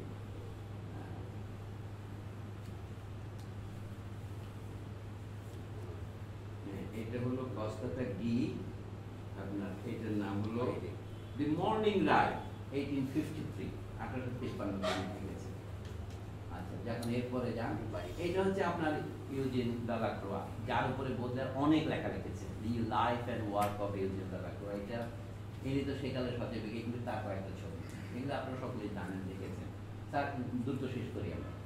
হ্যাঁ এইটা দালাকোয়ার একটা স্টাডি ফর ফেমাস যে লিবার্টি এঁকেছে পরে সেটার একটা আলাদা একটা আচ্ছা হ্যাঁ, এইগুলি এইটা হচ্ছে অ্যাডগার অ্যালান পো এটা কে এঁকেছে আমি জানি না কেন মধ্যে থাকবে? দালাকোয়ার কেউ আর কে বলতে পারে। এই যে আরেকজন শিল্পী মেসোনিয়া এটা ভয়ানক দৃশ্য কিন্তু।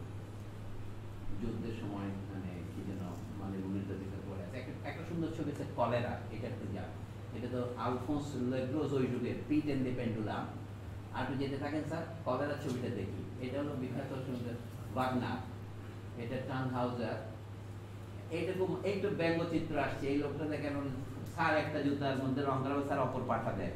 এই ডান দিকে দি আদার ফুড স্যার। আর এইটা মাঝখানে হলো বল নাচের পরে। এরকম একটা গল্প টলস্টেরও আছে। এটার নাম হচ্ছে বল নাচের পরে। এই লোক কি বলতো পায়ের মধ্যে পড়ে যাচ্ছে। কিছু খানিক, আর এক জেনারেল আরেক জেনারেলকে ডেকোরেশন করেছে ওইটাতে, এই বাঁদিকের ছবিটাতে। আর একটু যেতে থাকেন স্যার এইরকম মজা ব্যারিস্টার সাহেব আর তার লিটল ক্লায়েন্ট ক্লায়েন্ট শুকিয়ে গেছে। এটা অন্যদের আঁকা দমিয়ে আঁকা এটা ছবিতে উনিও বিখ্যাত শিল্পী, আপনার চেনেন সকলে। এটাও দমিয়ে এটা হলো দিদু অ্যান্ড ইনিয়াস। ওই মায়ের কথাটা আমি বলছিলাম। আমার পছন্দের ছবি হচ্ছে এটা, কলেরা। অনেকটা আমাদের জয়নুল আবেদনের দুর্ভিক্ষে চিত্রের মতো সময়ের মধ্যে ছবির ফরমেশনে বলতেছি না আইডিয়াতে যে দেখেন মানে একটা মৃতদেহ পড়ে আছে রাস্তার উপর, একটা কুকুর যাচ্ছে সেই নিজেই কলেরা হবে কিনা বোঝা মুশকিল। একটা কেমন জানি বলেন না, একটা মানে হতচ্ছাড়া ভাব এসেছে। আচ্ছা স্যার, আর একটু দেখেন। এইটা খুব মজার, পানিতে ও মানে ডিপ ডিপ সি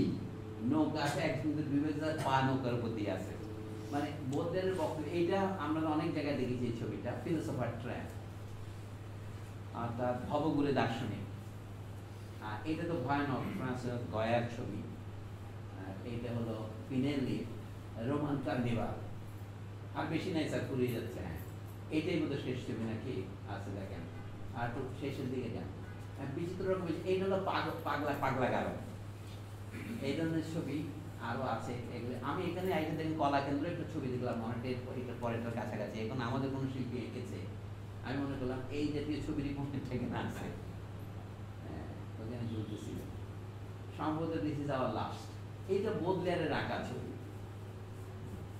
বলে specimen of antique beauty dedicated to Chenavard তখন শেবনাথ যিনি ছিলেন ওনাকে ফিলোসফিক আর্টিস্ট বলা হতো আর কি। বোদলেয়ার তার উপরেও লিখেছেন। তাকে উৎসর্গ করা এই ছবি, এই বোদলেয়ারের আঁকা ছবি এটা, এগুলি নিচে লেখা। আর শেবনাথ মানে শেবনাথকে উৎসর্গিত ওখানে আছে। বিউটি দেখতে এটা বোদলেয়ারের আঁকা বলে নিচে লিখেছে আর কি। আর এটা হচ্ছে শেবনাথ তার আঁকা এই ছবিটা। এর মধ্যে একটা ক্লাসিক ভাব আছে। Augustus closes the doors of the temple of Janus মনে হচ্ছে যেন একটা পুরনো ধর্মের দরজা বন্ধ করে নতুন ধর্ম গ্রহণ করছে। আমি পুরো তাৎপর্য বুঝি না নিয়ে একটা অ্যানিমাল পড়ে আছে। যারা এই সমস্ত অ্যালেগোরিক্যাল ছবি বুঝবেন তারা ভালো করতে পারছে শেষ হয়েছে স্যার তাই না? এখন আপনাদের আরও অনেক মন্তব্য এবং প্রশ্ন আছে সবগুলোর তো মানে আমি উত্তর দিতে পারব না আপনাদের কথা শুনতে পারব আর কি। স্লটার ডেনি হ্যাঁ, বলতে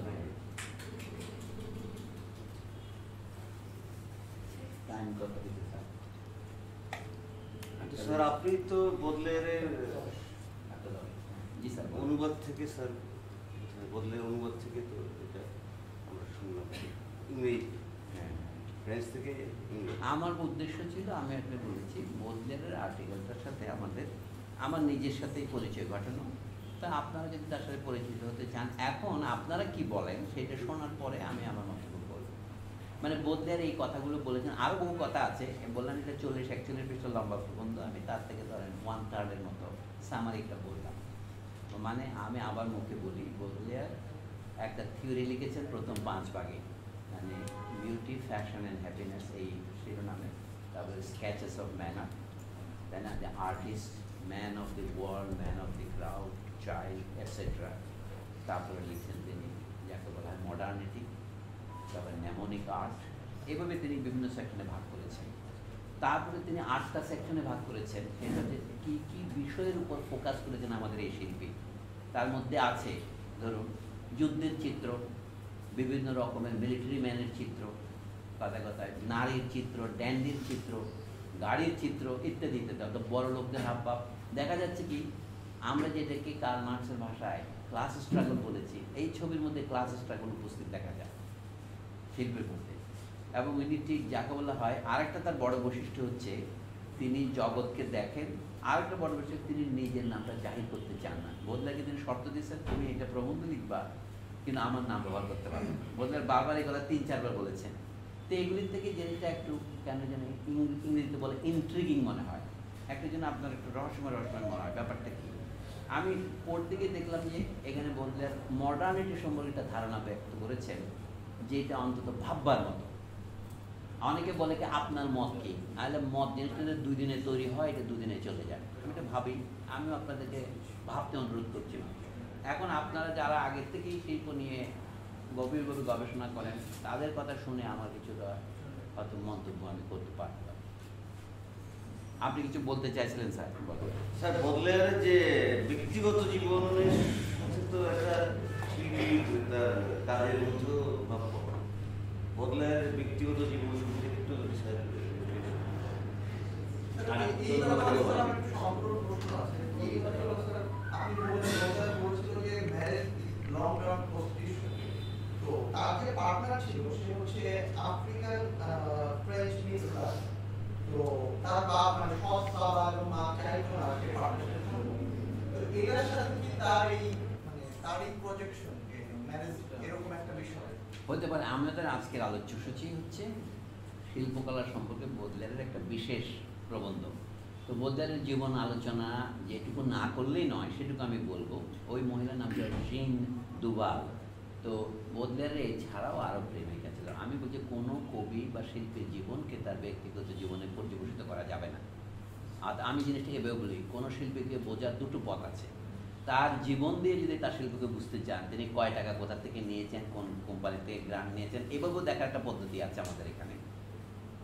যেমন শিল্পী আছেন সুলতান, তার চিত্রায়ণতে ভাষার মতো একটা নৌকা এর সাথে তাকে করে দিয়েছে, তিনি এখন একটা ভাষা পেয়েছেন। এভাবে শিল্পী সুলতানের বিচার করা যাবে না।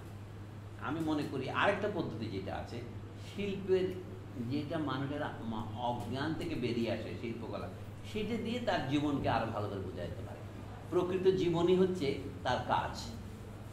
কাজের মধ্যে আপোষ করা চলে না। যে কাজগুলো আপোষ করা হতো তাহলে বাংলাদেশে একটা মহা মহা এখন কোনো মহাবৃক্ষ বেরিয়ে যেত, উপন্যাস বেরিয়ে যেত। লোকে যে বস্তা বস্তা উপন্যাস ছাপতেছে, এগুলো কোনো রকমের অন্তত আমার মনে আবেদন তৈরি করতেছে না। কালে মধ্যে দু একটা ব্যতিক্রম আছে, আমি সেই কথা এখন বলছি না আলোচনা এটা আমার আলোচনা হচ্ছে নয়। এটা হচ্ছে কেন? কারণ এটা ইংরেজিতে বললে খারাপ শোনায় ইনঅথেন্টিক অর্থাৎ এগুলি তার উপার্জিত নয়। এগুলো আহরিত উপার্জন করতে হলে আপনাকে আত্মত্যাগ করতে হবে। শিল্পীর জীবন সম্পর্কে আমি কোনো উপদেশ দিতে চাই না। বদলিয়ার ছিলেন নিজেই খাটে শিল্পী। কারণ তিনি যে অক্ষয় কীর্তি রেখে গিয়েছেন, তার গদ্য কবিতা, পদ্য কবিতা, তার সমালোচনা, আমি মনে করি এগুলিকে পৃথিবীতে প্রথম শ্রেণির যা বলে, এটা তাই। তার চেয়ে আরও ভালো লেখক নাই সেটা আমি বলছি না, কিন্তু পৃথিবীর দশ ভালো লেখকের তিনি একজন। সুতরাং তার মতকে প্রাথমিকভাবে আমি মূল্য দেবো। তারপরে তার মানে তার সমস্ত কথা আমি বিশ্বাস করব না। যদি আমি এটা নিজের অভিজ্ঞতা দিয়ে চান করতে না পারি। তো তার জীবনী পরে বানাবো এটা উনি তার ইন্টিমেট জার্নালে লিখেছিলেন। ধরেন, এক সময় কবিরা অনেক কথা লেখেন, তিনি জীবনে বিবাহ করতে পারেননি। আর তার অনেক কারণ আছে। ছয় বছর বয়সে যে ভদ্রলোক পিতৃহারা হয়েছে, তারপরে তিনি বয়স যখন তার বিষ হয়েছে, তখন তিনি বললেন, আমি আর কোনো প্রফেশনে যাব না। আমি লেখক হব অথর হব। এই জন্য তার সৎ বাবা তাকে বহু চেষ্টা করেছেন। তাকে সিভিল সার্ভিসে নেওয়ার জন্য। তিনি জাননি তখন তাকে জোর করে তারা ভারতে পাঠিয়ে দিয়েছিলেন, জাহাজে করে। ভারতে আসতে পারেন নাই আসলেন মরিশাসের কাছে ইউনিয়ন দ্বীপে তারপরে কয়েক মাস পরে তিনি ফিরে যান। এগুলি তার আমি একটা বক্তৃতা দিয়েছি ইউল্যাপে এটা হলো বদলেয়ার অ্যান্ড কলোনিয়ালিজম আরেকটা বক্তৃতা আমি দিয়েছি, যেটি এখানে আপনাদের দিলাম এটার অর্ধাংশ ওখানে দিয়েছিলাম, এটা হচ্ছে মডার্নিটি অ্যান্ড কলোনিয়ালিজম আমি কলোনিয়াল পার্ট এখানে বলছি না, এটা হলো মডার্নিটি সংক্রান্ত বদলেয়ারের ধারণা। সেই একই লোক, এই বদলেয়ার যিনি মরিশাসে এসেছিলেন। তিনি একই সাথে প্যারিসেও ছিলেন। প্যারিসেও তিনি খানিকটা নিজেকে বিদেশি মনে করতেন। তার স্প্লিন দু প্যারি এই বই যদি কেউ পড়েন, পঞ্চাশটা গদ্য কবিতা। সেখানে দেখা যায় জীবন সম্পর্কে তার যে দৃষ্টিভঙ্গি, আর একটা কথা বদলে আর অনেক ছবি দেখে কবিতা লিখতেন।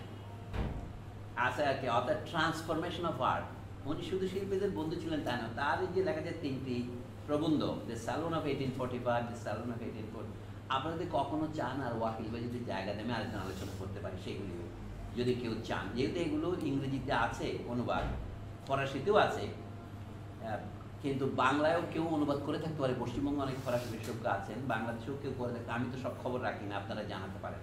এগুলি আমি মনে করি অনুবাদ করলে আমাদের ক্ষতি হবে না। কেউ যদি সময় দিয়ে এগুলো অনুবাদ করেন, আমাদের শিল্পী বা ছাত্রদের অন্তত উপকার হবে। এই এই জন্য আমি আলোচনা করি। তার ব্যক্তিগত জীবনের ব্যস্ততা, সাফল্য, এটা আমার বড় ব্যাপার নয়। তার বক্তব্যের মধ্যে কি আছে? তিনি সমকালীন একজন শিল্পীকে নিয়ে আলোচনা করেন যাকে লোকে এখন দ্বিতীয় শ্রেণির শিল্পী বলে। আপনি লুভ মিউজিয়ামে তার ছবি পাবেন না।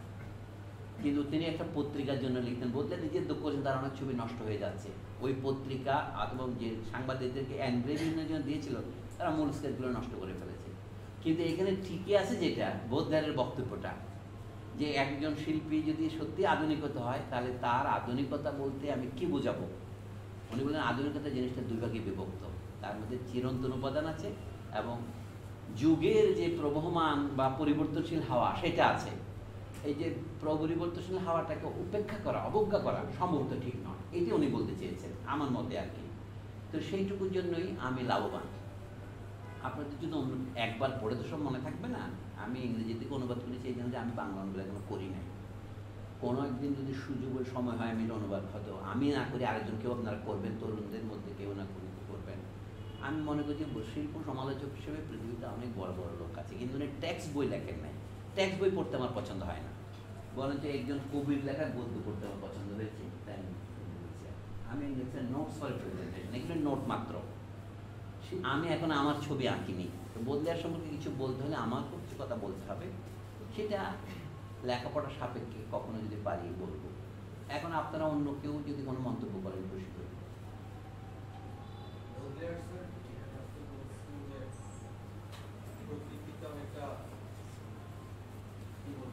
হিসেবেই দেখছে এবং সেটার উপর সাজসজ্জা করি সিভিলাইজেশন বা মডার্নিটির উদ্ভব। ঠিক কেমন এরকম একটা কথা বলবেন আবার বোদলেয়ারের দেখা যায় প্রথম দিকের কবিতায় সেখানে নেচারের প্রচুর প্রশংসা আছে এবং একই সাথে প্যারিসের যে মডার্ন লাইফ তার প্রতি বিতৃষ্ণা আছে। এবং তার কবিতার যে লিফলার ডিমল ফ্লার্স অফ ইভিলস সেটার প্যারাডক্স থেকে বোঝা যায় যে ফ্লাওয়ারের মধ্যে ইভিল যদি আমি এইভাবেই সরাসরি করে ফেলি, অনেকটা ব্লেকের সিক্রোজের মতো। তো সেখানে তো সে মডার্নিটির প্রতি প্রচণ্ড বিতৃষ্ণাই দেখাচ্ছে এবং মাঝে মাঝে নেচারের কাছে ফিরে যাওয়ার দাওয়াতও দিচ্ছে। তাহলে সেই প্যারাডক্স থেকে তো সে মুক্তি দিচ্ছে না। এটাকে আপনি কীভাবে দেখতেছেন আমি আপনাকে যেমন বলেছিলাম মিথ্যাবাদের প্যারাডক্স এ থেকে আমাদের মুক্তি নাই। যদি আমরা সিম্বলিক ভাষার ভিতরে থাকি ভাষার সীমাবদ্ধতা আছে। বোধের প্যারাডক্স নাই তা আমি বলতে চাচ্ছি না, কিন্তু মনে রাখার বিষয় বোধের বইটা যখন বের হয় আঠারোশো সাতান্ন সনে কারণ তার প্রথম দিকের কবিতা চার নম্বর কবিতার নাম হচ্ছে করেসপন্ডেন্স মানে সাদৃশ্য। প্রকৃতির মধ্যে উনি বলেন আমরা বলি না এইটা রং আর এটা শ্রবণ। এই সুরের সাথে এই রঙের মিল আছে। আমরা এখনও এখনও করি, বর্ণ বিপর্যয়ের মতো আমরা করি।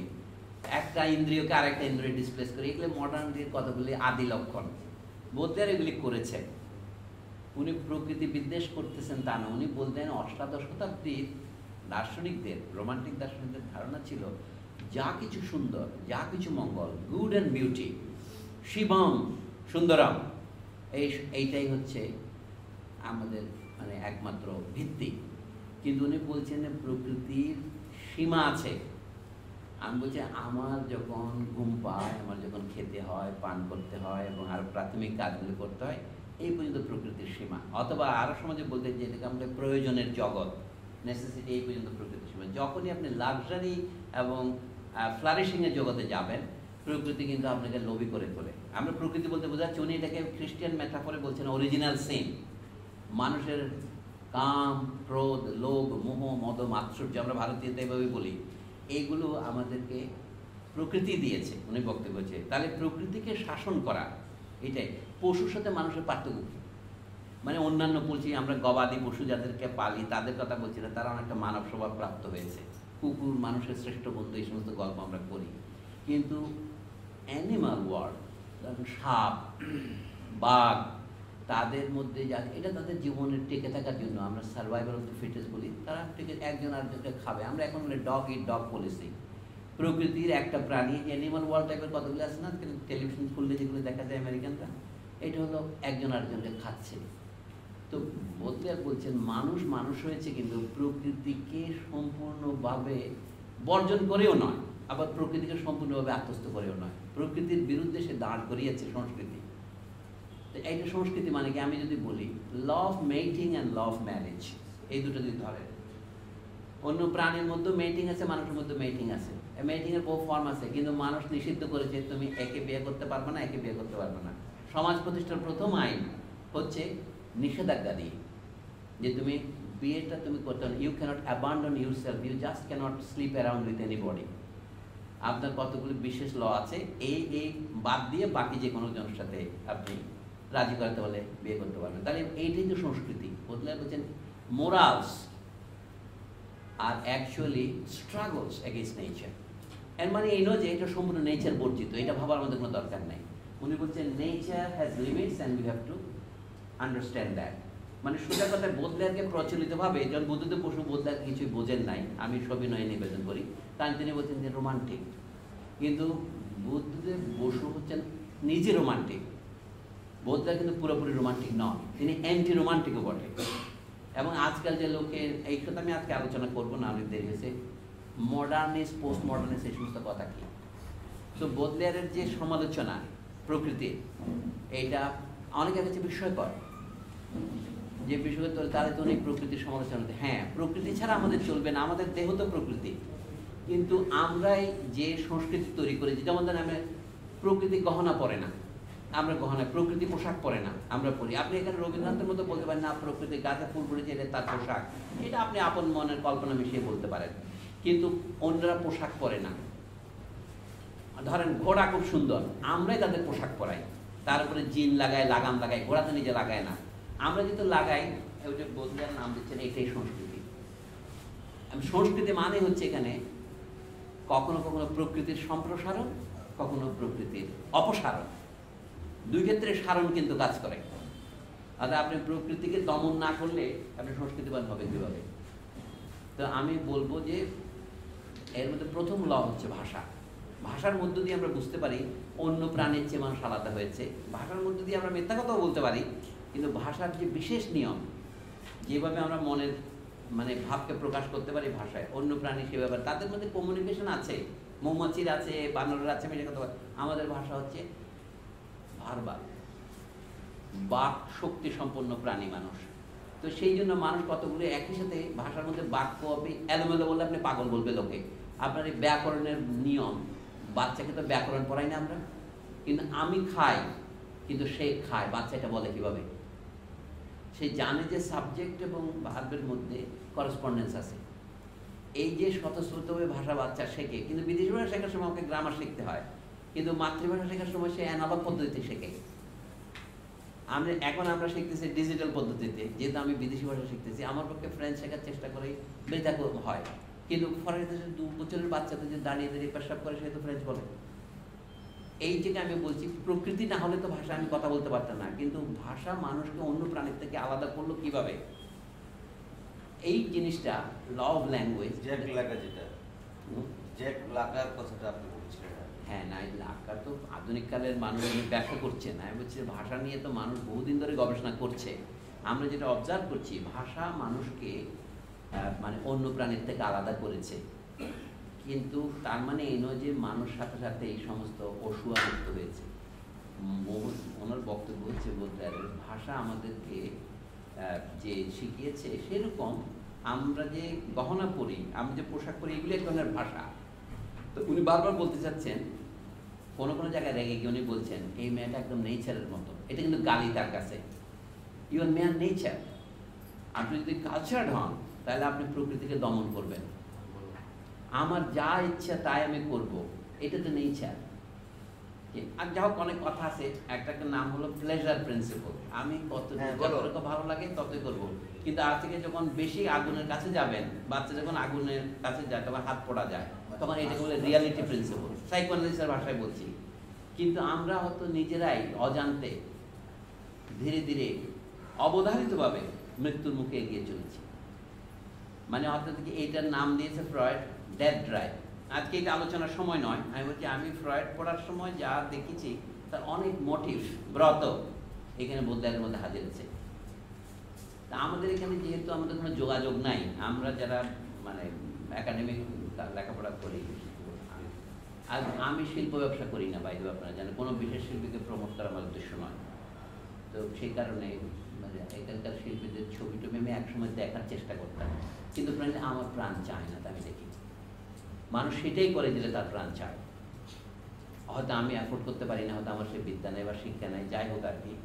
যে শিল্পীরা যখন ইংরেজিতে স্বাক্ষর করে ওই ছবি দেখতে ইচ্ছে করে না আমার। তো বাংলাদেশ এখানে কী করব? এখানে কোনো প্রতিষ্ঠানের নাম বাংলায় দেখতে পাচ্ছেন আপনি? সব ইংরেজি আকার করে ছড়াছড়ি সব নামে। এখন আমি তো এটা কিছু দূরবৃত্ত করতে পারব না কিন্তু বেদনা তো পেতে পারব আমি। তো ভাগ্যেশ ওয়াকিলুর রহমানকে যেটা কলা কেন্দ্র নাম দিয়েছে এটা একটু বাংলা নাম পেলাম। তাই না? না না, এখানে হচ্ছে আমাদের বলতে গেলে এটা কিন্তু শ্রেণি চরিত্রের কারণে। আমাদের এখানে শিল্পী বলেন, কবি বলেন, আমরা অধ্যাপনা বলেন করি আমরা সকলেই আমরা হলাম চলতি হাওয়ার পন্থী, নৌকা যাচ্ছে কিন্তু সবাই ইংরেজি বলছে, আমি ইংরেজি আমি ইংরেজির বিরুদ্ধে নয়, ফরাসির বিরুদ্ধে নই কাজে ইংরেজি তো বিদ্যা অর্জনের হাতিয়ার উপায়, জীবন সংগ্রামের হাতে, ঠিক আছে? কিন্তু আমাদের যে ভাবখানা, যে বাংলা দিয়ে কোনো কিছু প্রকাশ করা যায় না। আপনারা গত ঈদ সংখ্যা প্রথম আলো দেখেছেন? এখানে কেউ প্রথম আলোর কভার পেজ ঈদ যে বিজ্ঞাপনটা ছাপিয়েছে, এখানে তো কয়েকজন সাংবাদিক বন্ধু আছেন, তারা দেখেছেন নিশ্চয়ই।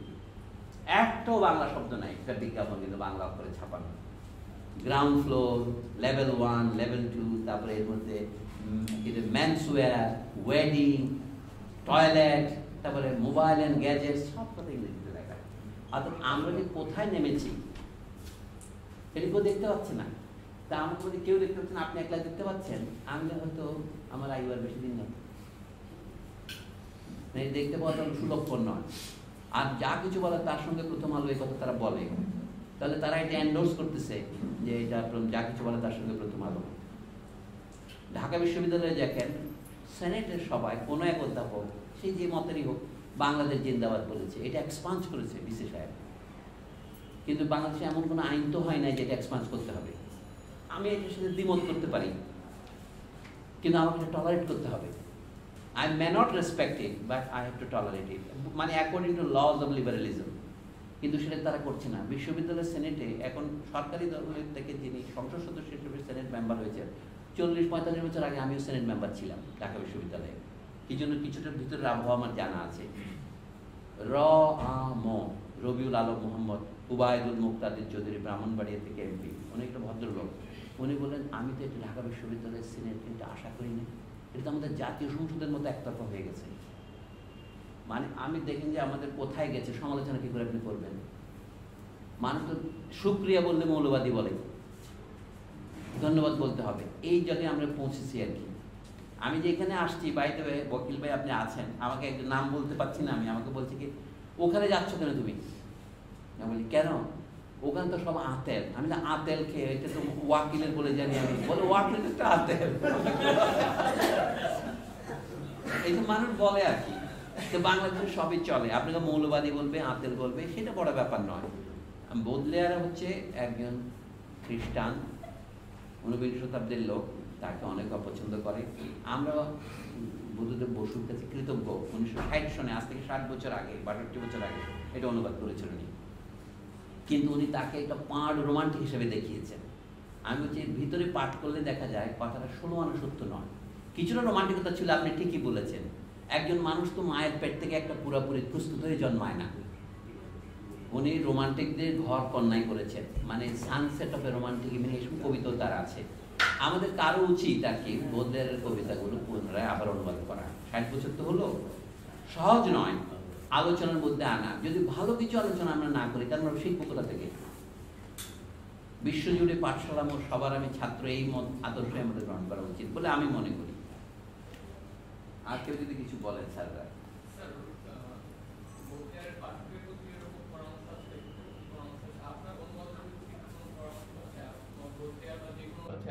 কোনো বা যে কোনো অনুবাদের ক্ষেত্রে দেখা যায় যে প্রচুর ত্রুটি তো আচ্ছা খুব ভালো কথা, আমার পরামর্শ আছে।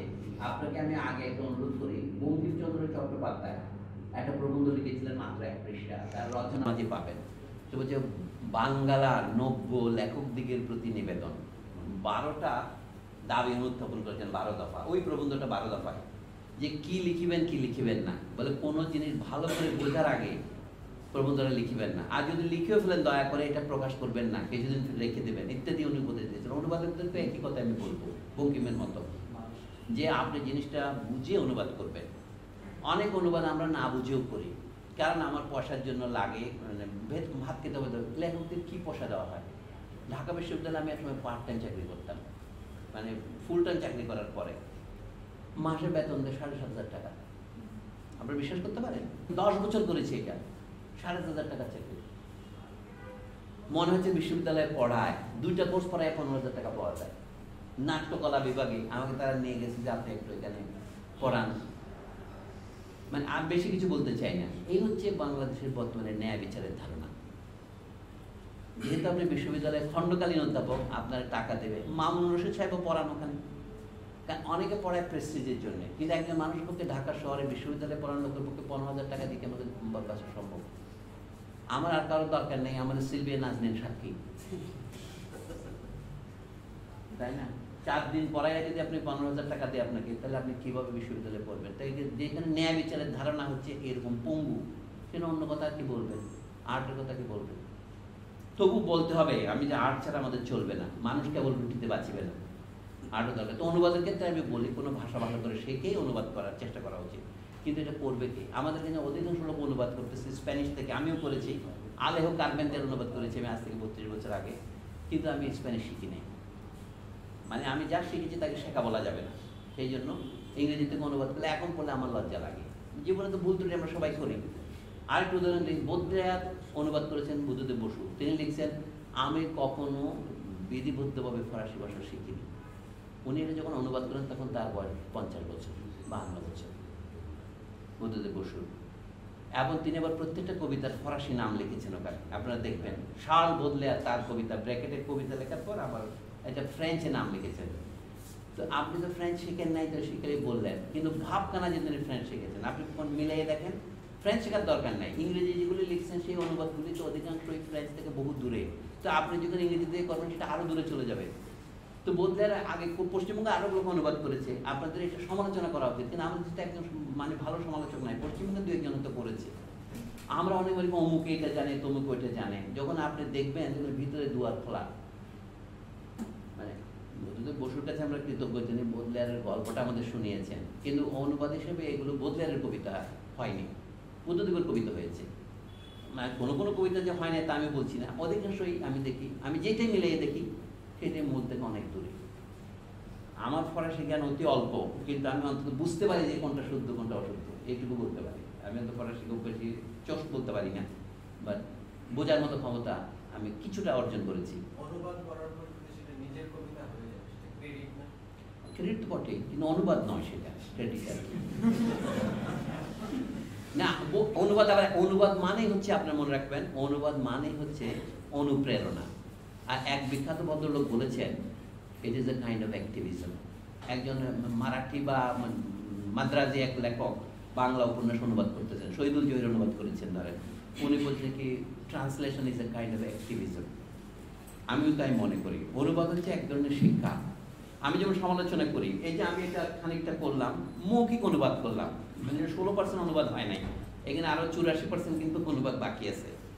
তা আমি ইংরেজি, বাংলা মিশিয়ে বলছি, এটা আমাদের সাংস্কৃতিক দশার একটা প্রতিফলন।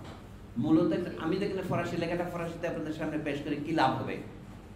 একইভাবে ইংরেজিতেও কি লাভ হবে? এটা করা উচিত ছিল বাংলায়, কিন্তু আমি আদর্শবশত আমি করি নাই। আদর্শবশত করেছি মানে যেটা যদি এইটার জন্য যদি আমাকে উপযুক্ত ফেলোশিপ দেওয়া হইতো হয়তো করে ফেলতাম আমিও। কিন্তু আমি করে উঠতে পারি না এটা আমার ব্যক্তিগত অযোগ্যতা। তবে জেনারেলি আমাদের সংস্কৃতির কথা বলছি। আমাদের এখানে তো আর্ট হিস্ট্রি বলে একটা বিষয় পড়ানো হয়। আর্ট ক্রিটিজম পড়ানো হয়। এখানে আর্ট ক্রিটিজমে যেগুলো আমাদের স্যারেরা লেখেন, এগুলো অধিকাংশ পিঠ চুলকানি। আমি কোনো বিশ্লেষণমূলক লেখা দেখি না। এবং যাদের লেখাগুলিকে শিল্প সমালোচনা লেখা চলা হয়, নামটা নিচ্ছি না, তারা অনেকে আমার শিক্ষক, কিন্তু এগুলি অর্থহীন। কিন্তু যে লোক একজন অর্থপূর্ণ লেখা লিখেছেন, যেমন আহমদ সাফা, বাংলার চিত্রশিল্প সুলতানের সাধনা। আমি জানি না আর্ট কলেজে এটা পড়ানো হয় কিনা। কথা হচ্ছে কি তার মধ্যে সাফা চিত্রশিল্প জানেন না, সমালোচনা জানেন না। কোনো লোককে নাকচ করে দেওয়া তো সহজ। কিন্তু আহমদ সাফার এই লেখা পড়ে যারা বলেছিল কি শিল্পী সুলতান কোনো শিল্পী নয়, তারাই পরে শিল্পী সুলতানের উপর বই লিখেছে। উদাহরণস্বরূপ বলি, হাসনাত আব্দুল হাই একটু উপন্যাস লিখেছে। এটা পুরাপুরি সফর অনুপ্রেরণা লেখা। অথবা আমার বন্ধু এখন পরলোক আমি তার আত্মার মাখ ফেরার কামনা করি। কিন্তু আমাকে সমালোচনাটা করতে হবে। তারেক মাসুদ। তিনি আদম সুরত বানাতে বেরিয়েছিলেন, পাকিস্তান ঘুরে আসছেন, লাহোর ঘুরে আসছেন, মনির চৌধুরীর ভাইয়ের বাড়িতে গেছিলেন কিন্তু শেষের দিনে ইন্টারভিউর সময় আহমদ সোহান নামটা উচ্চারণ করেননি। বলে এটা আনোয়ার ভাইয়ের ছবি দেখে আমি বানিয়েছি। তার আধ ঘণ্টা একটা তথ্যচিত্র মানে ইন্টারভিউ আছে। আমি ডেলি স্টারের অফিস বসে দেখলাম, কিন্তু অবাক। এই হচ্ছে আমার চরিত্র। মানে আমি তারেক মাসুদ সম্পর্কে একটা কিছু বলি, মনে হয় আমি নিজের বিরুদ্ধে বলছি, নিজের বুকে ছুরিকাঘাত করছি। এটা তো আমাদের চরিত্র। তো এখন আপনি কি চিত্রশিল্প সমালোচনা করবেন এখানে? আমি কোনো চিত্র বুঝি না, তার চিত্র সমালোচনা করি না। আমি শুধু বোদলেয়ারের কবিতা অনুবাদ করতে গিয়ে তার এই গল্পগুলি পড়লাম, প্রবন্ধগুলি। তাতে মনে হলো যে এটা কোনো কোনো শিল্পীর সাথে মানে আলোচনা করা যায়। অর্থাৎ আপনাদের একটা বিকাল নষ্ট করলাম। এরকম বহু বিকাল তো আপনারা নষ্ট করেন অসুবিধা কি? আমার মনে হয় আজকে আমরা? আমি শেষ আমি শেষ করার পক্ষে তাই ওনার প্রশ্ন একজনের। এটা শেষ প্রশ্ন নেই। বললেন আপনার ব্যক্তিগতভাবে আমরা যারা শিল্প সাহিত্য চর্চা করছি এখন কোন মানে আমাদের দায়বদ্ধতা থেকে আমরা কোন বিষয়গুলোকে মাথায় রেখে এই চর্চাটা করা আমাদের নৈতিকভাবে দায়িত্ব বা আমাদের উচিত বা নিজেদেরকে যদি শিল্প সাহিত্য চর্চা বা শিল্পী হিসাবে, সাহিত্যিক হিসাবে দাবি করি, তাহলে আমাদের কোন বিষয়গুলো স্পেসিফিকভাবে যদি আপনি একটু দয়া করে না দয়া করার কিছু নেই। আমি আজকে যে গোটা ঠিক আছে, এটা একটু অনুবাদ করে বলে আমি ফরাসিরা কথা কথায় বলে ইফ ইট প্লিজেস ইউ সিল গু প্লে সিল দে প্লে তো of course it pleases me to say lot আমি আজকে সন্ধ্যা যা বললাম, তার মূল বক্তব্য হচ্ছে, বদলে আর এটা সব বলেছেন। আপনি আমাকে যে প্রশ্নটা করেছেন আধুনিক যুগের বা আধুনিক কালের জীবন যিনি আঁকেন, তিনি আধুনিক চিত্রশিল্পী। কিন্তু আধুনিক জীবন বলতে কী বোঝায়? সেটা উনি এখানে আলোচনা করেছেন। আমি বলছি আমাদের আধুনিক হওয়া দরকার। এখন এই কথাটা সকলেই বলে আধুনিক, কিন্তু আধুনিক হওয়া বলতে কি বোঝায়? আধুনিকতার মানে হলো আপনি যেটা দেখেন, সেটাকে অবিশ্বাস না করা। সেটাকে আবার একেবারে হুবহু নকলও না করা। আমি যা দেখলাম তা না আপনি যেখানে যেটাকে বেছে নেন, দুটো কথা এখানে লিখবেন। একটা হচ্ছে কল্পনা শক্তি, আর হলো পর্যবেক্ষণ শক্তি। আপনার যা আবার দেখেন আমার তথাকথিত পর্যবেক্ষণ শক্তিটা কিন্তু আমার বুদ্ধি থেকে আসে, আমার এথিক্স থেকে আসে। আমি যা দেখব না বলে চোখ বন্ধ করেছি সেটা আমি কখনো দেখতে পাই না। অর্থাৎ চোখের সামনে চলে গেলে আপনি দেখবেন না, কারণ আপনি আগে থেকে মনের চোখ বন্ধ করেছেন। তা আমি মনে করি শিল্পী এবং সাহিত্যিকরা যদি তাদের জীবনের অভিজ্ঞতার প্রতি, প্রথম কথা হচ্ছে অভিজ্ঞতা। আমার শেষ কথা হচ্ছে অভিজ্ঞতা এইভাবে। আমরা অনেক সময় মিসগাইড হয়ে যাই বা আপনাদের অনেক কথা শুনতে হয় না। সত্যকে উদ্ঘাটন করার জন্য একজন শিল্পী কতটা বিচক্ষণ হওয়া উচিত? না না আমি তো ওইভাবে তো আপনাকে মেপে বলতে পারব না। আমি একটা দিয়ে শেষ শেষ করি যে ওয়াকিল ভাই এখানে দাঁড়িয়ে আছে তার মাথা কথা কপাল চোখার জন্য উনি বলেন আজকে এই লোককে কেন যে দাওয়াত দিয়েছিলাম? আমি মনে মনে তার ব্যথা হচ্ছে আমি শেষ করব। দুই মিনিটে শেষ করি। আমার বক্তব্য হচ্ছে শুধু শিল্পীর ক্ষেত্রে নয় আমরা যে বস্তুকে বুঝে বা না বুঝে ফিলোসফি বলি, তার কি দশা আমাদের এখানে? লোকে বলছে বাংলায় ফিলোসফি লেখা যায় না। ঢাকা বিশ্ববিদ্যালয়ের বয়স একশো বছর বাড়িয়েছে এটা বলে বলে আমি প্রায় মা খাওয়ার দশা। আমি ঢাকা বিশ্ববিদ্যালয়ের লোকেরা বাংলা লিখতে পারে না, অথবা বাংলার নামে যেটা লেখে, সেটা পাঠযোগ্য হয় না। কেন পাঠযোগ্য হয় না? মানে কার পাঠযোগ্য হয় না? আপাতত এখানে আমি ছাড়া আমি আর কাউকে বলতে পারছি না, আমার পাঠযোগ্য হয় না। কিন্তু আমি তো খুঁজে খুঁজে পুরনো মধুসূদনের লেখা পড়ি, আমি তো বঙ্কিমের লেখা পড়ি, আমি তো রবীন্দ্রনাথের লেখা পড়ি, আমি তো আরও বড় বড় ঈশ্বরচন্দ্র বিদ্যাসাগরের লেখা পড়ি, কিন্তু এই যুগের লেখা আমি দু একজনের লেখা আমি পড়ি, কিন্তু ওর লেখা পড়তে পারি না কেন? কারণ হচ্ছে কি, ওটা হয় না। উদাহরণস্বরূপ, তারা একশো বছর ধরে অর্থনীতি পড়াচ্ছে, কিন্তু অর্থনীতির ক্ষেত্রে একটি কেতাবও তারা তো বাংলায় লিখতে পারে নাই বা অনুবাদ করতে পারে নাই। এটা কি বোঝাচ্ছে? মানে যে তারা জাল, তারা জালিয়া কাজে আপনাকে জাল জালিয়াতের বিরুদ্ধে আন্দোলন করতে হলে আপনার শিক্ষার ব্যবস্থা ভালো আপনি যদি কিন্ডার গার্ডেন ইংরেজি মিডিয়ামে পড়ান, আপনি দেশে ভালো লোক পাবেন কীভাবে? আপনি তো অশিক্ষিত লোক তৈরি করতেছেন, শিক্ষিত লোক তৈরি করছেন না। আমি ইংরেজি বা ফরাসি বা আরবি শেখার বিরুদ্ধে নই। আপনার দেশের জাতীয় ভাষায় শেখার পরেই আপনি বিদেশি ভাষা শিখবেন। কিন্তু এটার থেকে আমরা সরে গেলাম কি হবে? আমাদের সরকারের কেন এই কোমরে জোর না এই কথা বলতে যে দেশের সর্বজনীন শিক্ষার মাধ্যম বাংলা হবে? ধরেন আপনি কি করা উচিত? তা আপনি এখন কি আমি বাংলা সাইনবোর্ড বদলাবো আন্দোলন করব, আর্ট সেন্টারকে কলা কেন্দ্র করে আন্দোলন করব? এটা তো আমার কাজ নয়। এটা ওয়াকিল বা এটা ওয়াকিল করবেন, আপনারটা আপনি করবেন। আমি মনে, আমি ইংরেজি মিডিয়াম স্কুলে পড়াই বলে লোক আমাকে গাল দেয়। আমি তো অন্য বাংলা মিডিয়াম স্কুলে চাকরি পাচ্ছি না আমি, তাই ইংরেজি মিডিয়াম স্কুলে পড়াই। আমার উত্তর হচ্ছে সেরকম তো দেশের সব স্কুলে তো ইংরেজি মিডিয়াম হচ্ছে এখন। তার ফল হচ্ছে কি? বাংলা সাহিত্যের বারোটা বাজতেছে। আপনি যদি একটা অঙ্কের ইউটিলিটির হিসাব করেন বলতেন এক জায়গায় বলছেন, প্রকৃতিকে আমরা তার ইউটিলিটি ছাড়া অন্যভাবে দেখি না। আমাদের জন্য ভাষা দ্বিতীয় প্রকৃতি। আজকে আমার বই যদি বিক্রি না হয়, আমি লেখক শিখব কীভাবে? আমার বিশ্ববিদ্যালয়গুলিতে সমস্ত বই ভারত থেকে আমদানি করা হচ্ছে, আমেরিকা থেকে আমদানি করা হচ্ছে, ইংরেজি বইগুলো। বাংলাদেশে তো তারা একটা টেক্সট বই লিখতে পারতেছে না, কারণ তারা যে ইংরেজি লিখবে, এটা তো পড়াতে পাঠযোগ্য না। তারা বাংলাও লিখতে পারে না, ইংরেজিও লিখতে পারে না। এই হচ্ছে একটা জাতির অবস্থা, আমি শেষ কথা বলি। এরিস্টটল বলে একটা ভদ্রলোক ছিলেন। এরিস্টটলের কতগুলি বই গ্রিক ভাষা লেখা হয়েছে ইংরেজিতে অনুবাদ না হলে আমিও পড়তে পারতাম না। আমি গ্রিক শিখি নাই। কিন্তু তারপরে দেখা যায় উনি যা দেখেছেন, অভিজ্ঞতা থেকে লিখেছেন। তার আগেও বহু ফিলোসফার লিখেছেন। কিন্তু তারপরে থেকে আধুনিক যুগে যাদেরকে ফিলোসফার বলে, তারা কি হয়েছে? অন্য ফিলোসফারের জীবনী লেখে, অন্য ফিলোসফার কমেন্ট করে। এখন বাস্তবের যে দেখা এবং দর্শন, তার মধ্যে যোজন যোজন দূরত্ব হয়ে গেছে। ফিলোসফি ইজ ড্যাড এবং আমাদের দেশে তো ডবল ড্যাড যেটা কলোনিয়াল যুগ, এইখানের দেশে যে আগে যে দার্শনিক আলোচনা হতো মধ্যযুগ বা আধুনিক যুগের শুরুতে সেগুলিও আর নাই। এমনকি আধুনিক যুগের মধ্যে বঙ্কিমচন্দ্ররা যেরকম বাংলা লিখেছেন, সেই বাংলা তারা লিখতে পারছে না। এটাকে আপনি মনে করেন অকারণ? আমাদের কি করা উচিত যদি আমি রাফলি বলি? আমি তো সাহিত্য জগতের লোক, আমি মনে করি যে আমাদের তাকে বাংলা ভাষায় লেখা উচিত। বাংলা ভাষায় পড়া উচিত। এবং ইংরেজি বই পড়লে বদলার যদি পড়ে তো অনুবাদ করতে পারি, সেটা বাংলা ভাষায় পড়াই হয়। শিল্পীরা কি করবেন সেটা তারা বলবেন।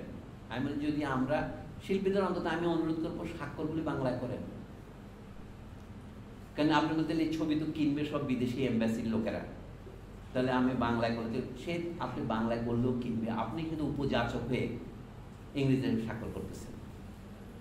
আমি এসএন সুলতানকে দেখেছি ইংরেজিতে স্বাক্ষর করতে। তাদের এটা আমাদের রোগে পরিণত হয়েছে। একটা, এটা সাধারণ রোগ। বাংলা স্বাক্ষর করলে কালকে বিপ্লব হয়ে যাবে আমি বলছি না। কিন্তু এটা একটা রোগের লক্ষণ। তাহলে এখানে শেষ করি ভাই। হ্যাঁ?